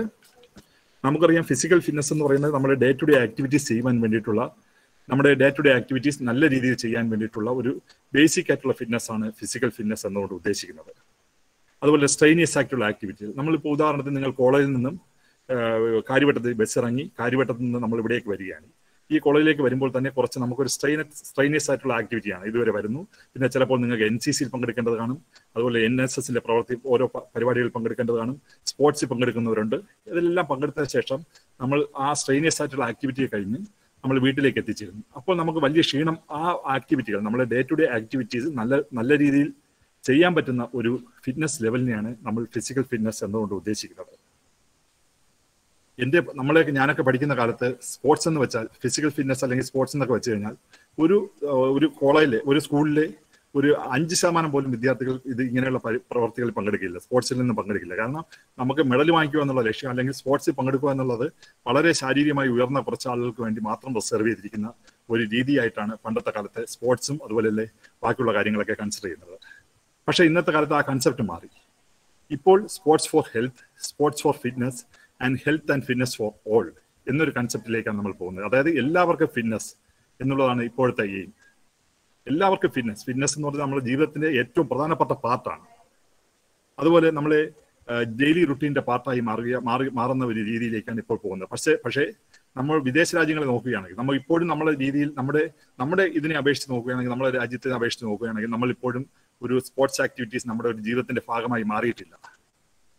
കാരണം നമ്മൾ ശ്രദ്ധിച്ചു നോക്കിയാൽ. വിദേശ രാജ്യങ്ങൾ ഇപ്പോൾ നമ്മൾ കോവളത്തോ അല്ലെങ്കിൽ വർക്കല പാവനസ്ഥോ പോകുമ്പോൾ നമുക്ക് ശ്രദ്ധിച്ചു നോക്കിയാൽ അറിയാം. ഒരു രണ്ട് വയസ്സുള്ള കുട്ടി വിദേശികളായ രണ്ട് വയസ്സുള്ള കുട്ടികൾ മുതൽ തൊണ്ണൂറ് വയസ്സുള്ള വൃദ്ധന്മാർ വരെ അവിടെ കിടന്ന് കളിക്കുകയും സമ്മർ സോൾട്ട് അടിക്കുകയും വെള്ളത്തിൽ നീന്തുകയൊക്കെ ചെയ്യുമ്പോൾ നമ്മൾ പതിനെട്ടും ഇരുപതും വയസ്സുള്ള ആളുകൾ വിദ്യാർത്ഥികൾ പലപ്പോഴും വിദ്യാ ഇരുപത് വയസ്സുള്ള ആളുകൾ ഒരുപാട് ആളുകൾ അവിടെ കാണാൻ വേണ്ടിയിരിക്കും. വെള്ളത്തിൽ ഇറങ്ങുവാനോ നീന്താനോ അറിയാത്ത കുട്ടികളാണ് ആളുകളും ആളുകളാണ് നമ്മുടെ ഇവിടെ ഉള്ളത്. അതായത് നമ്മുടെ ഫിസിക്കൽ കൾച്ചർ എന്നത് പറയുന്നത് നമ്മുടെ സമൂഹത്തിൽ ഇതുവരെയും വന്നിട്ടില്ല എന്നുള്ളതാണ് യാഥാർത്ഥ്യം. അതുകൊണ്ടാണ് നമ്മൾ അവിടെ ഒരു വെറും കാണികളായി നോക്കിക്കൊണ്ടിരിക്കേണ്ടി വരുന്നത്. അപ്പോൾ ഈ അടുത്തായി ഫിറ്റ്നസ് ക്ലബിനെ പറ്റിയാണ് തീർച്ചയായും ടാലന്റഡ് ആയിട്ടുള്ള സ്റ്റുഡൻസിനെ പ്രൊമോട്ട് ചെയ്യുക എന്നുള്ളതാണ് ഫിറ്റ്നസ് ക്ലബിന്റെ ഏറ്റവും പ്രധാനപ്പെട്ട ലക്ഷ്യം. അതിൽ നമുക്ക് ഡിസ്ട്രിക്ട് മെഡലുകൾ വാങ്ങിക്കുന്ന കുട്ടികൾ കാണും സ്റ്റേറ്റ് മെഡലുകൾ വാങ്ങിക്കുന്ന കുട്ടികൾ കാണും. അവർക്ക് മാക്സിമം പ്രോത്സാഹനം നൽകുക. അത് ഞാൻ പറഞ്ഞു നേരത്തെ പറഞ്ഞു അഞ്ച് ശതമാനമോ അല്ലെങ്കിൽ ആറ് ശതമാനമോ വരുന്ന കുട്ടികൾ മാത്രമേ അതിൽ വരുന്നുള്ളൂ. നമുക്ക് കഴിഞ്ഞ വർഷം ഏകദേശം അറുപതോളം മെഡലുകൾ നമുക്ക് കിട്ടിയിട്ടുണ്ടായിരുന്നു. വിവിധ യൂണിവേഴ്സിറ്റി മത്സരങ്ങളിലും അതുപോലെ സ്റ്റേറ്റ് മത്സരങ്ങളിലുമൊക്കെ രണ്ടാമതായി നമുക്ക് ഏറ്റവും പ്രധാനപ്പെട്ട കുറച്ചുകൂടി ബ്രോഡറായ കൺസെപ്റ്റ് വരികയാണെങ്കിൽ ഫിസിക്കൽ ഫിറ്റ്നസ് എന്ന് പറയുന്നത് കുറച്ചുകൂടി ബോർഡറായിട്ട് അതായത് ഹെൽത്ത് റിലേറ്റഡ് ഫിറ്റ്നസ് എന്ന് നമ്മൾ പറയും. എല്ലാ വിദ്യ എല്ലാ മനുഷ്യർക്കും ആവശ്യമായ ഫിറ്റ്നസിനെയാണ് ഹെൽത്ത് റിലേറ്റഡ് ഫിറ്റ്നസ് എന്ന് പറയുന്നത്. അതിൽ പ്രധാനമായി വരുന്നത് cardio respiratory fitness muscular strength flexibility body compost എന്നിവയാണ്. അതായത് കാർഡിയോ റെസ്പിറേറ്ററി ഫിറ്റ്നസ് എന്ന് വെച്ചാൽ നമുക്ക് എല്ലാ മനുഷ്യർക്കും ആവശ്യമുള്ള നമ്മുടെ റെസ്പിറേറ്ററി സിസ്റ്റത്തിനും അതുപോലെ തന്നെ കാർഡിയോ സർക്കുലേറ്ററി സിസ്റ്റത്തിനും ഒക്കെ എഫക്റ്റ് നൽകുന്ന എക്സസൈസുകളാണ് നമ്മൾ ഈ കാറ്റഗറിയിൽ പഠിച്ചിരിക്കുന്നത്. നിങ്ങൾ ഇപ്പോൾ ആയിരത്തി അഞ്ഞൂറ് മീറ്റർ ഓടുകയും മറ്റുമൊക്കെ ചെയ്യുമ്പോൾ നിങ്ങൾക്ക് തീർച്ചയായും വേണ്ടി വരുന്നത് കാർഡിയോ റെസ്പിറേറ്ററി ഫിറ്റ്നസ് ആണ്. അപ്പോൾ അത് നിങ്ങൾക്ക് ഡിഫൻസിൽ മറ്റുമൊക്കെ നിങ്ങൾക്ക് ഏറ്റവും പ്രധാനമായി വേണ്ടതാണ്. കാരണം പല ടെസ്റ്റുകളിലും ബേസിക് ക്രൈറ്റീരിയ എന്ന് പറയുന്നത് one mile walk one mile running ഒക്കെയാണ് പട്ടാളത്തിൽ വെച്ചിരിക്കുന്നത്. അതുപോലെ തന്നെ പോലീസിൽ നമുക്കൊരു ഐറ്റമായി ഉണ്ട് ആയിരത്തി അഞ്ഞൂറ് മീറ്റർ ഓട്ടം. ഇതൊക്കെ പാസ്സായാൽ മാത്രമേ നമുക്ക് ആ ജോലി കിട്ടുകയുള്ളൂ. അപ്പോൾ ആ കാർഡിയോ റെസ്പിറേറ്ററി ഫിറ്റ്നസ് ആണ് നമുക്ക് ഏറ്റവും പ്രധാനമായി വേണ്ട ഒരു ഫിറ്റ്നസ് പിന്നെ അടുത്ത മസ്കുലർ സ്ട്രെങ്ത് അതിന് നമുക്കിവിടെ ജിംനേഷ്യം ഉണ്ട്. നമുക്ക് ജിംനേഷ്യത്തിൽ എക്സസൈസുകൾ ചെയ്യാൻ സാധിക്കും. സ്ട്രെങ്ത് എക്സസൈസുകൾ മറ്റുമൊക്കെ ചെയ്യാൻ സാധിക്കും. അതുപോലെ മിലിറ്ററി അതുപോലുള്ള ഫോഴ്സുകളിലൊക്കെ നമുക്ക് ആവശ്യമുള്ള ഒരു ഒരു ഫിറ്റ്നസ് ലെവലാണത് കാരണം നമുക്ക് പുള്ളപ്പ് എന്ന് പറയുന്ന ഐറ്റം നിങ്ങൾക്കുണ്ട് ഷോർട്ട് പുട്ട് ഉണ്ട്. ഈ കാര്യങ്ങളൊക്കെ ചെയ്യുന്നതിന് ഫോഴ്സിൽ പങ്കെടുക്കുമ്പോൾ അതൊക്കെ ചെയ്യുന്നതിന് നമുക്ക് തീർച്ചയായും ഇത്തരം ഫിറ്റ്നസ് ആവശ്യമാണ്. അതിന് നമുക്ക് ജിംനേഷ്യം നിങ്ങൾക്ക് നല്ല രീതിയിൽ ഉപയോഗപ്പെടുത്താം. കുറച്ച് മെഷീനുകൾ കംപ്ലൈന്റ് വന്നിട്ടുണ്ട്. പക്ഷെ അത് നമ്മൾ എത്രയും പെട്ടെന്ന് അത് നന്നാക്കി എടുക്കുന്നതായിരിക്കും. പിന്നെ ഫ്ലെക്സിബിലിറ്റി എന്ന് വെച്ചാൽ ശരീരത്തിന്റെ വഴക്കം. നമുക്കിവിടെ യോഗ മാറ്റൊക്കെ ഉണ്ട്. യോഗ മാറ്റ് വെച്ച് നമുക്ക് എക്സസൈസ് മറ്റു കാര്യങ്ങളൊക്കെ ചെയ്യാം. ചെയ്യാൻ സാധിക്കും. അത് നിങ്ങൾ മാക്സിമം ഉപയോഗപ്പെടുത്തുക. അതുപോലെ ബോഡി കോമ്പോസിഷൻ അതായത് നമ്മൾ നമുക്ക് ഒരു ഫാറ്റ് പെർസെന്റേജ് നിശ്ചിത അളവ് ഫാറ്റ് പെർസെന്റേജ് ആണ് നമുക്ക് ആവശ്യമായിട്ടുള്ളത്. ആ ഫാറ്റ് പെർസെന്റേജ് മെയിന്റെയിൻ ചെയ്യുന്നതിനുള്ള ആക്ടിവിറ്റീസ് നമുക്ക് ഇവിടെ ചെയ്യാൻ സാധിക്കും. പിന്നെ അടുത്തതായി വരുന്നത് ഒരു പ്രധാനപ്പെട്ട കാര്യം എന്ന് ജീവിതശൈലി രോഗങ്ങൾ. ജീവിതശൈലി എന്ന് വെച്ചാൽ ജീവിതശൈലി കൊണ്ട് നമുക്ക് ഒരുപാട് പ്രശ്നങ്ങൾ ഇപ്പോൾ ഉണ്ടാകുന്നുണ്ട് അതായത് diabetic hypertension obesity metabolic syndrome ഇങ്ങനെ ഒരുപാട് അസുഖങ്ങൾ തീർച്ചയായും ഈ നമ്മുടെ ജീവിതശൈലികൾ കൊണ്ട് ഉണ്ടാകുന്നുണ്ട്. ഇതിനെയൊക്കെ പരിഹരിക്കാൻ വേണ്ടിയിട്ടുള്ള ഒറ്റ ഒരു മെഡിസിനായി കണക്കാക്കപ്പെടുന്നത് നമ്മുടെ എക്സസൈസ് അല്ലെങ്കിൽ ഫിസിക്കൽ ആക്ടിവിറ്റീസ് എന്നാണ്. ഡയബറ്റിക് ഡയബറ്റിക് ഇപ്പോൾ ഡയബറ്റിക് പേഷ്യൻസിനെ സംബന്ധിച്ചിടത്തോളം അപ്പോൾ നമ്മൾ ഒരു ഉദാഹരണത്തിന് ഡയബറ്റിക് പേഷ്യൻസ് ആണ്. അവർക്ക് ഇപ്പോൾ എക്സസൈസ് ചെയ്യുന്നതിന് മൂലം ഒരുപാട് ഡിഫറൻസുകൾ വരുന്നുണ്ട്. കാരണം നയന്റി ഫൈവ് പെർസെന്റേജ് ആളുകളും നയന്റി ഫൈവ് പെർസെന്റേജ് ആളുകളും നമ്മൾ ഈ ഡയബറ്റിക് പേഷ്യൻസ് എല്ലാവരും വരുന്നത് ടൈപ്പ് ടു ഡയബറ്റിക് ആണ്. അത് നമുക്ക് എക്സസൈസിലൂടെ വളരെ നല്ല രീതിയിൽ പ്രിവെന്റ് ചെയ്യാൻ സാധിക്കും. അത് എന്തുകൊണ്ടെന്നാൽ നമ്മുടെ ശരീരത്തിലെ നമ്മുടെ ഇൻസുലിൻ സെൻസിറ്റിവിറ്റി മസിൽസിലെ ഇൻസുലിൻ സെൻസിറ്റിവിറ്റി കൂട്ടുന്നു. നമ്മുടെ റെഗുലർ ആയിട്ടുള്ള എക്സസൈസുകൾ അതുപോലെ തന്നെ ഇൻസുലിൻ റെസിസ്റ്റൻസ് കുറയ്ക്കുന്നു. ഈ രണ്ട് കാരണങ്ങളെല്ലാം നമുക്ക് ഡയബറ്റിക് ഡയബറ്റിക്കിനെ കൺട്രോൾ ചെയ്യാൻ സാധിക്കുന്നു. അതുപോലെ നമ്മൾ റെഗുലറായിട്ട് ഫിസിക്കൽ ആക്ടിവിറ്റി ചെയ്യുമ്പോൾ നമുക്ക് ഹൈപ്പർ ടെൻഷൻ കുറയുന്നു. അതിന് കാരണം വേറൊന്നുമല്ല. നമ്മുടെ ഹാർട്ടിന്റെ സ്ട്രെങ്ത് കൂടുന്നു. അതുപോലെ തന്നെ വെസൽസിൽ ബ്ലഡ് വെസൽസിന്റെ ഇലാസ്റ്റികത കൂടുന്നു. അതുപോലെ തന്നെ endothelia endothelial inner walls of arteries എന്ന് പറയുന്നത് എൻഡോത്തീലിയമാണ് അതിന്റെ സ്റ്റിഫ്നെസ് ഒക്കെ കുറയുന്നത് മൂലം നമുക്ക് ഒരുപാട് ഒരുപാട് ബെനിഫിറ്റുകൾ ഉണ്ടാകുന്നുണ്ട്. നമുക്ക് ഫാറ്റ് പെർസെന്റേജ് ഒക്കെ കുറയുന്നത് നമുക്കറിയാം. അടുത്തതായി റിക്രിയേഷൻ ലെവൽ റിക്രിയേഷൻ ആക്ടിവിറ്റീസ് നമുക്കിവിടെ ഉണ്ട് ടേബിൾ ടെന്നീസും ചെസ് അങ്ങനെയുള്ള ആക്ടിവിറ്റീസ് ബാഡ്മിന്റൺ അങ്ങനെയുള്ള നമ്മൾ നമ്മളിവിടെ സ്പോർട്സ് ക്ലബിന്റെ ഇതിൽ പ്രൊവൈഡ് ചെയ്യുന്നുണ്ട്. അടുത്ത അടുത്തതായി നമ്മൾ പലപ്പോഴും പറയാറുള്ളത് നമുക്ക് ശാരീരികമായ വികാസമാണ് സ്പോർട്സ് കൊണ്ടും അതുപോലെ ഫിറ്റ്നസ് കൊണ്ടും ഉണ്ടാകുന്നതെന്നാണ് പക്ഷേ അതിനേക്കാൾ ഉപരി നമുക്ക് നമ്മുടെ ബ്രെയിനിന്റെ ഡെവലപ്മെന്റും നമുക്ക് ഒരുപാട് ഈ രീതിയിൽ സംഭവിക്കുന്നുണ്ട്. ഉദാഹരണം നമ്മുടെ നമ്മുടെ ബ്രെയിനിലേക്കുള്ള നമ്മൾ റെഗുലറായിട്ട് എക്സസൈസ് ചെയ്യുമ്പോൾ നമ്മുടെ ബ്രെയിനിലേക്കുള്ള ബ്ലഡ് സെൽസ് അല്ലെങ്കിൽ കാപ്പിലറി ഡെൻസിറ്റി ആ കാപ്പിലറികൾ അവിടോട്ടുള്ള ബ്ലഡ് സപ്ലൈ ചെയ്യുന്ന കാപ്പിലറികൾ അല്ലെങ്കിൽ സ്മോൾ ബ്ലഡ് വെസൽസിന്റെ എണ്ണം കൂടുകയും അത് ബ്രെയിനിന്റെ പുതിയ സെല്ലുകളെ ഉത്തേജിപ്പിക്കുന്നതിന് സഹായമാവുകയും പുതിയ സെല്ലുകൾ ഉണ്ടാകുന്നതിന് ഹെൽപ്പ് ചെയ്യുകയും ചെയ്യുന്നു. അതുകൊണ്ട് തീർച്ചയായും അത് അതുകൊണ്ടായിരിക്കണം പലപ്പോഴും ചൈന പോലുള്ള വിദേശ രാജ്യങ്ങൾ ചൈന യൂറോപ്യൻ രാജ്യങ്ങൾ ഇത്രയും സ്പോർട്സിനും അതുപോലെ ഫിറ്റ്നസ് ആക്ടിവിറ്റീസിനും ഒക്കെ ഇത്രയും പ്രാധാന്യം കൊടുക്കുന്നത്. അതുപോലെ തന്നെ പല പല സ്റ്റഡീസും തെളിയിച്ചിട്ടുണ്ട്. പാർക്കിൻസൺസ് രോഗികൾ അതുപോലെ അൽഷിമേഴ്സ് രോഗികൾ. ഇതിലൊക്കെ അത്ഭുതകരമായ മാറ്റങ്ങളാണ് സ്പോർട്സും ഫിറ്റ്നസും ആക്ടിവിറ്റീസും കൊണ്ട് നേടി നേടിയെടുക്കാൻ സാധിച്ചിട്ടുള്ളത്. അതുപോലെ നിങ്ങൾ തീർച്ചയായും സ്പോർട്സിൽ പങ്കെടുക്കുമ്പോൾ നിങ്ങൾക്ക് ലീഡർഷിപ്പ് ക്വാളിറ്റീസ് ഉണ്ടാക്കിയെടുക്കാൻ സാധിക്കും.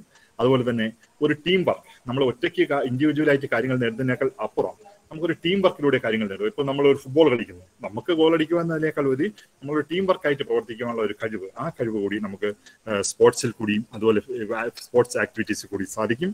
നമ്മുടെ ഈ ക്ലബിൽ അംഗങ്ങളായിട്ടുള്ളത് എന്റെ പേര് രാജീവ് എന്നാണ്. ഞാനാണ് കൺവീനർ അടുത്തതായി നിഷാദ് സാറുണ്ട് നമ്മുടെ ജോഗ്രഫിയിലെ Nishad sir Asha teacher കെമിസ്ട്രിയിലെ Asha teacher Ashwini teacher French ഫ്രഞ്ചിലെ Ashwini teacher എന്നിവരാണ്.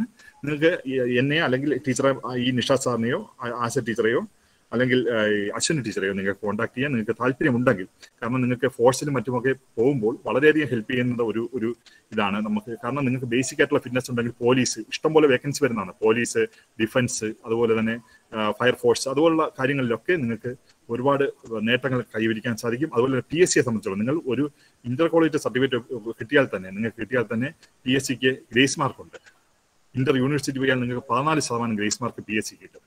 അതായത് നിങ്ങൾക്ക് കട്ട് ഓഫ് മാർക്ക് കഴിഞ്ഞ് പതിനാല് ശതമാനം മാർക്ക് അഡീഷണൽ കിട്ടുകയാണ്. അത് എത്രത്തോളം റാങ്കിൽ പ്രതിഫലിക്കുമെന്ന് നമുക്കറിയാം. തീർച്ചയായും നിങ്ങൾക്ക് എല്ലാവിധ ആശംസകളും നേർന്നോളൂ നേർന്നോളുന്നു okay thanks